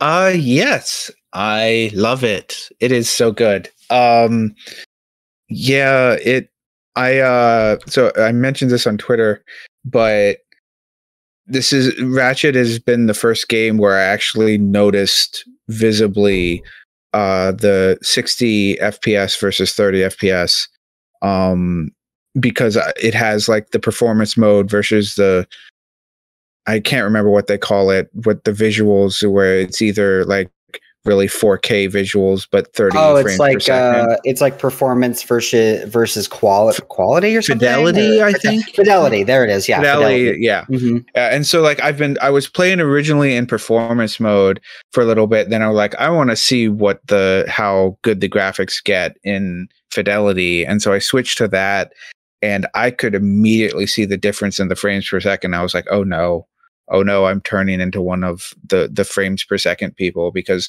up until like I could switch back and forth between it at will I had never been able to tell.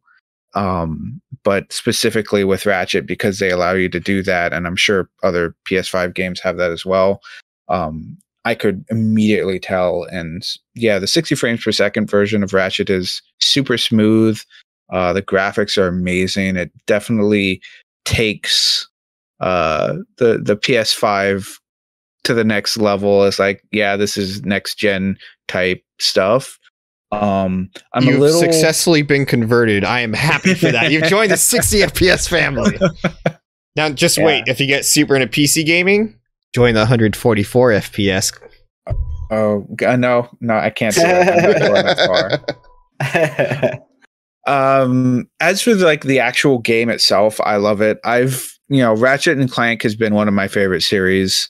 Uh, I played the PS2 games. I've played Deadlocked, and I even played the stupid spin-offs like Full Frontal Assault and uh, the the All for One co-op and all that stuff. Like I love Ratchet and Clank, and this one is top quality. Like is high up there. It's up there with uh, Going Commando, Tools of Destruction, Crack in Time, the best ones of the series.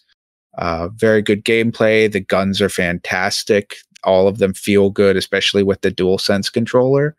Um, I'm a little disappointed that they don't do more with the dimension hopping. Uh, like the when the initial trailer reveal when you like grabbed he grabs the the dimensional hole and like Mhm. pulls it forward that looked like it looks really cool but it pretty much functions It- as like a really cool looking grappling hook Yeah, Um, it- you're not you're not like going between dimensions. You're just like going between two locations. I, I, I will say like in that beginning sequence where you're kind of like going through a whole bunch of dimensions, or I believe there's even a um I forget what the arena is on that one. I think it's like the third planet you go to or like little location. Where you're where you're on the uh, what, what's the speedy bug you're on the Spitler? S- Speetle, I think they Speed- call There it. you go. Yeah, you're just going through a bunch of portals. You're going through different worlds. I'm like, oh yeah, they're totally just flexing. Just like, look at what we can do with a PS5 F- SSD technology and whatnot, and it looks Yeah. cool. Yeah, it is, it, and uh, when when they do do it, it is really cool. Like there's there's like a couple boss fights where you like fall through dimensions and like fight in different areas. And from what I understand, the way the developer said, like it isn't like they're loading this for the specific boss fight. Like the SSD loads that entire planet when you're on it. You're actually fighting in that world uh when they switch between them and so it's it's really cool everything is fast no loading times uh yeah it, it's it's a it's a great game on top of being like high quality technology for uh, the ps5 I forgot how addicting it is to even just uh to, to cycle through all the weapons to like level them up to level five and everything. I'm just like, oh, let me do like some weird combinations. I can use the weird uh, terrarium thing to like basically stun big dudes, and I can unload, and I can spawn Mister Fungi, and I can unload with freaking bombs. It's you can do some really crazy, um, I- some really crazy shit. I love the Ratchet and Clank series because of that. Like, I I know like people love Call of Duty and Battlefield and those like shooters, but like, give me wacky ass guns. Give me the Sheepinator. Give me you know tornado guns and, and buzz blades and like a thing that the topiary cannon that turns everything into grass. Like it's there there's one of the gun one of my favorite guns is the the cold snap. You get it later in the game and you fire this like bomb blast and it turns enemies into ice cubes. And like if they already had momentum they like slide around the level and it's just so much fun. Uh i yeah, anyway i cannot this, this like Ratchet and Clank and Persona 5 Strikers are right now dueling head to head for like game of the year for me. They're just th- those are the top ones. It fight mill. It, uh, what the? It fight meal It might. Yeah, I can't. what is English? it fight meal like no. It it might feel weird to describe it like this, but um, I swear it's an energy drink. It's not beer. Um, um, it, it's such like a feel good game where I'm just like, this is just fun to play. It's good vibes. It's I just love it. It is. I'm always happy playing it. I think one minor little gripe I have is on the is on the swamp planet where you have that side quest to get the the fruit or whatever for um the little dinosaur flying thing where it, it puts stuff on the map that you can't necessarily get at that point in time and I I can't stand that shit in games. I'm just like if I can't get it, don't tell me it's there. Just just Yeah. hide it because I'm just like because I'm googling just like why why can't I grab this thing? Am I supposed to like fly down to the fruit? Can I shoot it somehow? And then you find out oh no, you have to get like 45 of the other ones, and then you can get the flame ability that you didn't know was a thing. Yeah, I had the exact same problem. I had to Google it too. I was like, why can't I grab this one? And then, oh, it's because I don't have an ability they never mentioned. Mm-hmm. Like I, I I don't care if it breaks complete diegeticness or whatnot. If I can't get something, just straight up tell me, hey dude, you can't get this shit. I, I'm like, okay, cool, thanks. You appreciate my time. I, I'm down for that. I yeah, I'm good. Uh, what about you, Corey? Have you touched it all? Um. Oh, Ratchet and Clank. Yes. Uh, no, because I, I, I honestly didn't really grow up with Ratchet and Clank, and I never, I never really had. Uh, A child. I never, I, I never. Wow. Okay. No, I was. listen, listen. No, I, I never played. I never played Ratchet and Clank, or uh, I think the only games I uh, of those kinds like I ever really touched was Banjo Kazooie and Spyro, and you know those games basically. Um, I had friends who were into those games. I just, I don't know. It, it- they didn't have golden puzzle pieces and like a, a running bear with a bird in its backpack, so I was fine. Stupid motherfucker doesn't even have a bird in his backpack. What kind of punk ass is this? Uh, I, I got you though. Like, You know. uh, I for, I was just thinking about it the other. I had I had some weird. Oh no, it was it was uh, Jak, uh, Jak and Daxter. You know, I I loved Spyro growing up, and I I love Spyro more than Crash. Crash, I'm, I'm like, oh, I really like it. I'm not sure I'd say like I love the old Crash games. Uh, but when Jak and Daxter came out, I'm just like, oh, those are the Crash people. And I'm just like, oh no, he's not as cool as fucking Spyro. Fuck that guy. I'm just like, what do you, what does he do? He jumps and he spins. Pff, whatever. He doesn't even spit fire. that's, that's my excuse. I was like, anytime, uh, anytime my boyfriend's like, Crash is better. Crash is. I grew up with Crash. Crash is amazing, and I'm like, okay, but like Spyro is a literal dragon who can breathe fire among other uh, other abilities. So like, I, you know what? I'll agree. I'll agree with Canny. Out of all the platformers from that era, whether it's Mario, Banjo Kazooie, Crash, Spyro, anything from that era, Spyro, I think is hands down the best designed. because you're a dragon. You're Fuck a dragon. Yeah, but which one got a sequel that just came out? We don't know. We don't know. You have to hold your breath. Hold your breath. We might get a Spyro four. You don't know. that reignited trilogy is fucking cool. And um, my girlfriend, she she got the because I played it on PS4. Uh, she has it on Switch, and every time she gets stuck on on um on trying to get something, because she she wants 100 percent it, even though there's no trophies or whatever on uh on Switch. She's like, "Here, can you help me?" Every time I get the excuse to play more Spyro, I'm like, "Oh fuck yeah, I'm gonna help you." I fucking love I- this game. I I have hundred. I have a hundred percented uh, Spyro, uh, Spyro the Dragon, um, Ripto's Rage, which is my favorite of the series. By the way, Ripto's Rage is is fantastic. Uh, and then um, the third one I haven't hundred percented yet, but I'm going to go back to it eventually. I will say, I, I would have said two is my favorite for most of my life. I think I kind of enjoy the more simple nature of one nowadays. That's true. Yeah, that's true. And I then- feel and then-. Three does. Three adds a lot of sidekick characters. It kind of does like the Sonic Syndrome stuff, where Mhm. it's it's it's never like as good to play as them, even though it adds like a decent amount of variety. But three goes like super overboard, with just like, hey, you don't have this fucking power, you can't get this shit.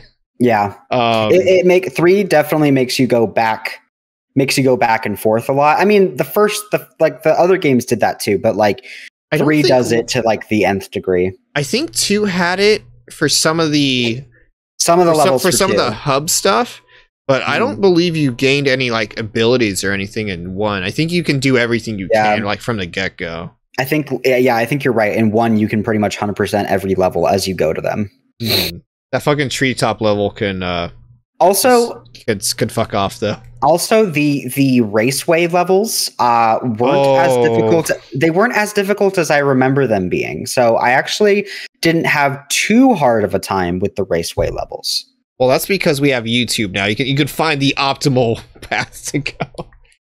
or maybe i'm just a better gamer now who knows like Maybe you're just better than me and Atma, I guess.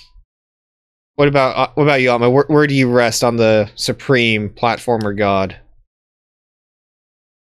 You gonna go with Ratchet? Or no, Ratchet's PS2. We're- We're, talking N64, Yeah. PS1 era.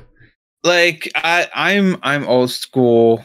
I Super Mario 64 is is my the height. I know a lot of other things came out and did all sorts of other cool stuff, but Super Mario 64, I've gotten 120 stars more times than I can count.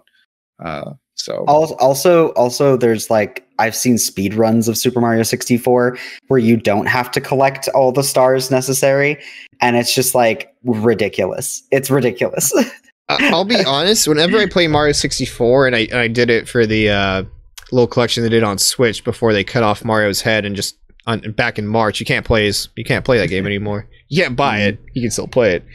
Um, the way I always treated like getting all the stars in Mario is that I did it, and I've never hundred percent that game because there's just some stars I don't like doing.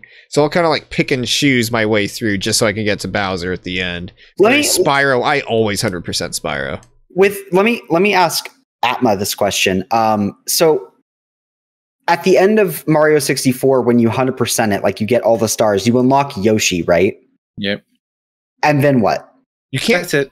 You can't don't ride do any- you- Yoshi. Yeah, you can't do anything with Yoshi. You just he shows up at the top of Princess Peach's castle and is like, "Hey, I'm here. Congratulations." That's it. that's not worth it I want to at least be able to ride Yoshi around, but like no. You, you can do Oh it in Sunshine. It- maybe that's why Sunshine's better. It's true. Even if Yoshi dissolves and dies the second he touches water. Except for the hotel level. The hotel level can burn. Oh yes. Like- and all I all I know is that there are like there are literal there's entire levels in Super Smash in Super Mario 64 that I avoided. I I like literally didn't even I maybe got one star in in in some of these levels and I just like didn't even go Yeah. back to them. And I think one of those levels is the one where it has like the different water levels that you have to keep hitting up and mm. down. oh, I I, can't level. stand that one. I hate it. And also the one where you have to like you enter one painting and it's you're ginormous and you enter another Oh, painting yeah. and you're tiny. I hate that level too. I love that level. That's one of my favorites. really? Really? Yeah. Like- my one of my favorites is the is Boo Mansion. Boo Mansion, like That one- Boo Mansion okay. is fun. I I hate the fucking eel level. I the, Oh, the that- eel that's terrified me as a kid, and I still haven't got over it. The eel. You're like, I am traumatized by the eel. Whenever I think back to like some of those platforms, because when I I don't think I even beat Galaxy on, on Switch. I, I beat 64. I beat um I almost said Fun Fun. fun yeah, Fun Slower. I, I can't speak. uh, Super Mario Fun Slower, um, Sunshine. Um, like I, there's some good stuff on there, but there's like a lot of BS also. Where, and I'm just like, I hate to bring this up. I'm just like Spyro, just consistently like front to back, fucking great. There's It no is, like yeah. low. There, there is no hotel level.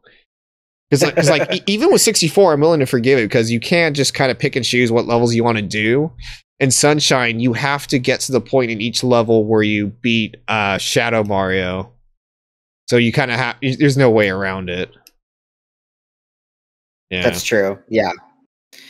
Uh, I think that's one thing that threw me off about Sunshine was that it's not how many stars you get; it's like how many stars you get in each level that gets you to the end. And I was just like, "Oh, okay." I'm not sure if you've played this one, Atma, but Corey, if you want to get the last topic of uh, Pokemon Snap. Sure. Um, have not played it, so wh- where Oh, where snap. we where are we at? I love your facial reactions every time I do a stupid joke. Um, I live for that. That's my aesthetic. what what wait? What about Pokemon Snap? uh, you played Pokemon Snap. No one else has. Like, tell us. Oh, what- oh what yeah, is- yeah. What is Pokemon Snap? Um, How did you enjoy it? So I haven't beaten it yet, but I recently on stream I I unlocked like three new locations that I didn't have previously.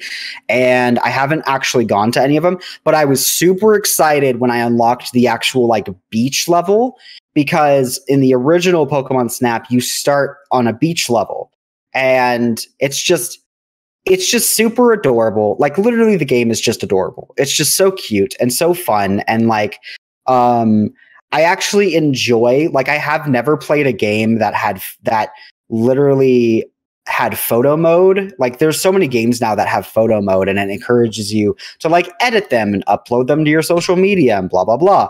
I haven't wanted to do that with anything else except for Pokemon Snap. Hmm. And they have like an in-game interface, like online in-game interface with that you just upload it to the Pokemon Snap like the the Pokemon Snap like in-game web page or whatever, and people can literally rate your rate your uh your photos, like give your photos like cheers or whatever, and it's like super simple, eh, but but it's like adorable because you can put stickers and stuff on it and put frames around it and just add all these different wacky things to it. And uh, I already uploaded like two customized photos of like a a, a, a Dodrio and um and then also like these I can't remember what they're called, but they're these like little like pom pom looking Pokemon that were like they're kind of like going in a row and they're walking along the ground or something. And I I decorate them to all, have all little bow ties and little umbrellas, and it was adorable. Um, so yeah, I'm having a fun time with it. Like it's it's a nice chill game uh between horror games on my stream to play. So like basically the way I format my stream is when we always have a horror game we're playing and we always have a cute game we're playing because my whole tagline is welcome to my kingdom. We have the cuties and the spookies here. Um, It's a good So- palate cleanser, that's for sure. yeah. So, and it's also good for palate cleansing. Um, so literally, I have like I'm playing Cozy Cove or Cozy Grove right now on my Switch, as well as Pokemon Snap, and I'll like alternate between those. So When Cozy wanna play- Grove is a horror game. Cozy Grove is not a horror game. I'll alter- when it comes to cute games, I'll alternate between those. Um, currently, my horror game I'm playing is Alien Isolation. So, Big spookies. but yeah, Pokemon Snap. If you like the nostalgia, if you like discovering new Pokemon, whether you call them GMOs or not, my boyfriend calls them GMOs. Uh, you'll enjoy this one.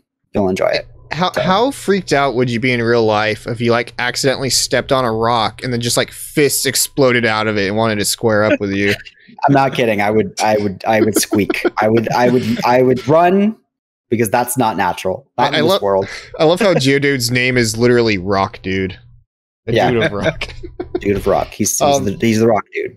What one thing I heard people talking about with this new one in, in particular was that uh, you can't unlock like new levels and stuff, and you, like you kind of have to do repeat runs of the same levels back to back in order to unlock Yeah. new stuff. What, did It you is- like that? Was it annoying or? It's not okay. So like it is a little bit grindy, but it's not like as long as you're like actually trying with each run, then then uh you can get through like you can discover new places at a at a decent pace. Um the game the game does take a bit to get you introduced to all of the elements of it. Um but I think I actually kind of like that of it because it actually teaches you to be patient and just enjoy what you have now and not just like go go go go go and trying to beat the game as fast as possible because it is a game literally meant to be about leisurely going through these areas of Pokemon and capturing the perfect picture. Like it's not meant to be a speed game, you know? Yeah. So I, I think that critique is a little is a little harsh. And the, I, I can see why I can see why people are like, oh, it's too grindy. But I, I think it has the perfect amount of grind, if that makes sense. Uh, question about the, uh, the the picture submissions because if I remember correctly from the first game, uh, you can only submit like a specific amount to like get graded to get points and whatnot. That kind of dictates if you if you move to other levels.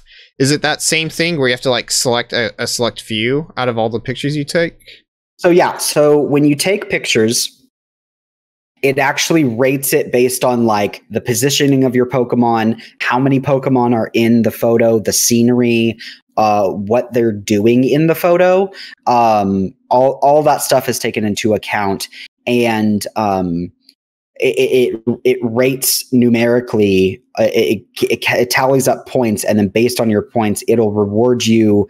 Uh, one through four stars and then those stars are also have their own levels of uh, bronze silver gold and diamond um, so and then before you even submit the photos it actually tells you how many number stars you're going to get from that photo that you're about to submit but it doesn't tell you like what kind of stars Mhm. um, so uh, and then it encourages you to keep going back and getting uh, different photos of that same Pokemon to fill up your album of like. So say you get you get say you get a picture of Pikachu, and it's a one star picture, but there's still three other slots for a two star, three star, and a four star picture. So it encourages you to go through and fill up the album for those four slots for each po- for each Pokemon, basically. I, I will say one complaint I had about that original, uh, pr- probably more so after you know uh, you and I did film school, is that in that original Professor Oak, I don't think he's a good photographer. He's just like, I want all the Pokemon front and center. I want the body. I'm just like, no, dude, you gotta use like the rule of thirds. You gotta get your composition going. You gotta have some nice headshots. He's like, no, fuck it. I just want it middle of this. well no and now they have now they have todd all grown up uh, from the from the original series uh in the game and so there's a lot of there's a lot more uh elements of photography involved in in this game than there was in the past and then also there's like Lumina orbs that make uh, Pokemon do like uh, actions that they normally wouldn't, or they glow, which is which is cool. Uh, and also, there's like a scanning ability because you basically have a high tech like communicator camera. Um, that you can scan things and it literally like it, it, sometimes it'll cause pokemon to do different actions too and it's this whole thing and then of course you can throw fruit at the pokemon because what's I was- pokemon snap without throwing fruit you know so I, I was about to ask, like, yeah, can you still just yeet fruit at, like in a Pokemon's head, or because you even had uh, what were they called in the first one? Pester balls, just like little gas balls that like make Pokemon sick and- to make Yeah. them do stuff. uh, they make it a point to state that the fruits you're throwing at them are soft and light so that no pokemon were hurt or harmed in the making of this game yeah, and, and that original, uh, like, if I remember correctly, that sound effect was like a hard thunk. yeah Hey, Squirtle, just fucking smash him right in the head. Uh, so uh, let's see. Are, are there any are there any last topics either if you want to go over? Anything we might have missed Um, or whatnot? Oh, uh, real quick, just re- real quick uh, segue back to my previous topic from like hours ago. Um, so just coincidentally, the Silent Hill merch is being released the day after the abandoned thing. I'm just saying. I'm just saying. and the Twitter page literally says uh, releasing of new merch to in order to celebrate dot dot dot. So that's my news. How about you, Atma? Anything you want to shout out or anything? Um, trying to think. I, uh, oh, I mean, um, I guess I've been playing Griftlands, uh, on my Switch. Uh, it just came out like a week or two ago. I think it's been in early access for almost two years now, uh, and finally got its 1.0 release. So I immediately grabbed it because I don't do early access. Um, and it it's basically Slay the Spire uh, if you add actual narrative elements to it. Um, lots of it's deck building roguelike. Uh, I found it a little easier. Um, but I also don't know if that's just because I've played like 300 hours of Slay the Spire or not. Holy shit! oh my god! Oh wow! yeah, So it's a good I- game. yeah, Slay the Spire is fantastic. Uh, Griftlands, like, there's three characters, and I've already beaten the first two story campaigns, and I don't, I haven't really looked into whether that's like supposed to happen, and then like the challenges, like on like the harder difficulties or like repeat playthroughs or what. Um, but the narrative is actually pretty interesting. I really like the world building. Um, so if anyone is interested in deck building games or roguelikes where there is like a, a decent narrative attached to it, uh, there's cool choices you have to make, uh, different factions and, and things like that. And you can make enemies and make friends, and you get bonuses and detriments to your uh, each battle based on who you've pissed off most recently and who who likes you. Um, so yeah, that's that's been like my Switch game while I've been playing Ratchet and Clank uh, on on the big screen. Nice. I might have to check Nice. that out. Mhm. All right. Um. Yeah. It's basically gonna do it for the show. That covered a lot of Nintendo stuff. Well, I guess the majority of it was Nintendo stuff. The Final Fantasy and Ratchet, and close out more Nintendo stuff with Pokemon. yeah. Thanks for hanging out, everyone. Um. The next scheduled stream should be tomorrow, 5 p.m. PST. Going to be more Bloodborne. I can't promise I'll beat any more bosses on the first time around. Uh, it'll probably be a very sad, depressing episode where I cry a lot. Uh, but yes, thanks everyone for hanging out in chat. Um, and thank you, Corey and Atma, for being on the show. It's, I l- Yeah. love having the both of you on. Yeah, it's been fun. I'm glad to be here. Uh, played Danganronpa. Played Danganronpa V3. Danganronpa 3 is very different from V3. That is a movie. um, but uh, yeah, it's going to do the show, and I'll see everyone next time. Bye. Bye.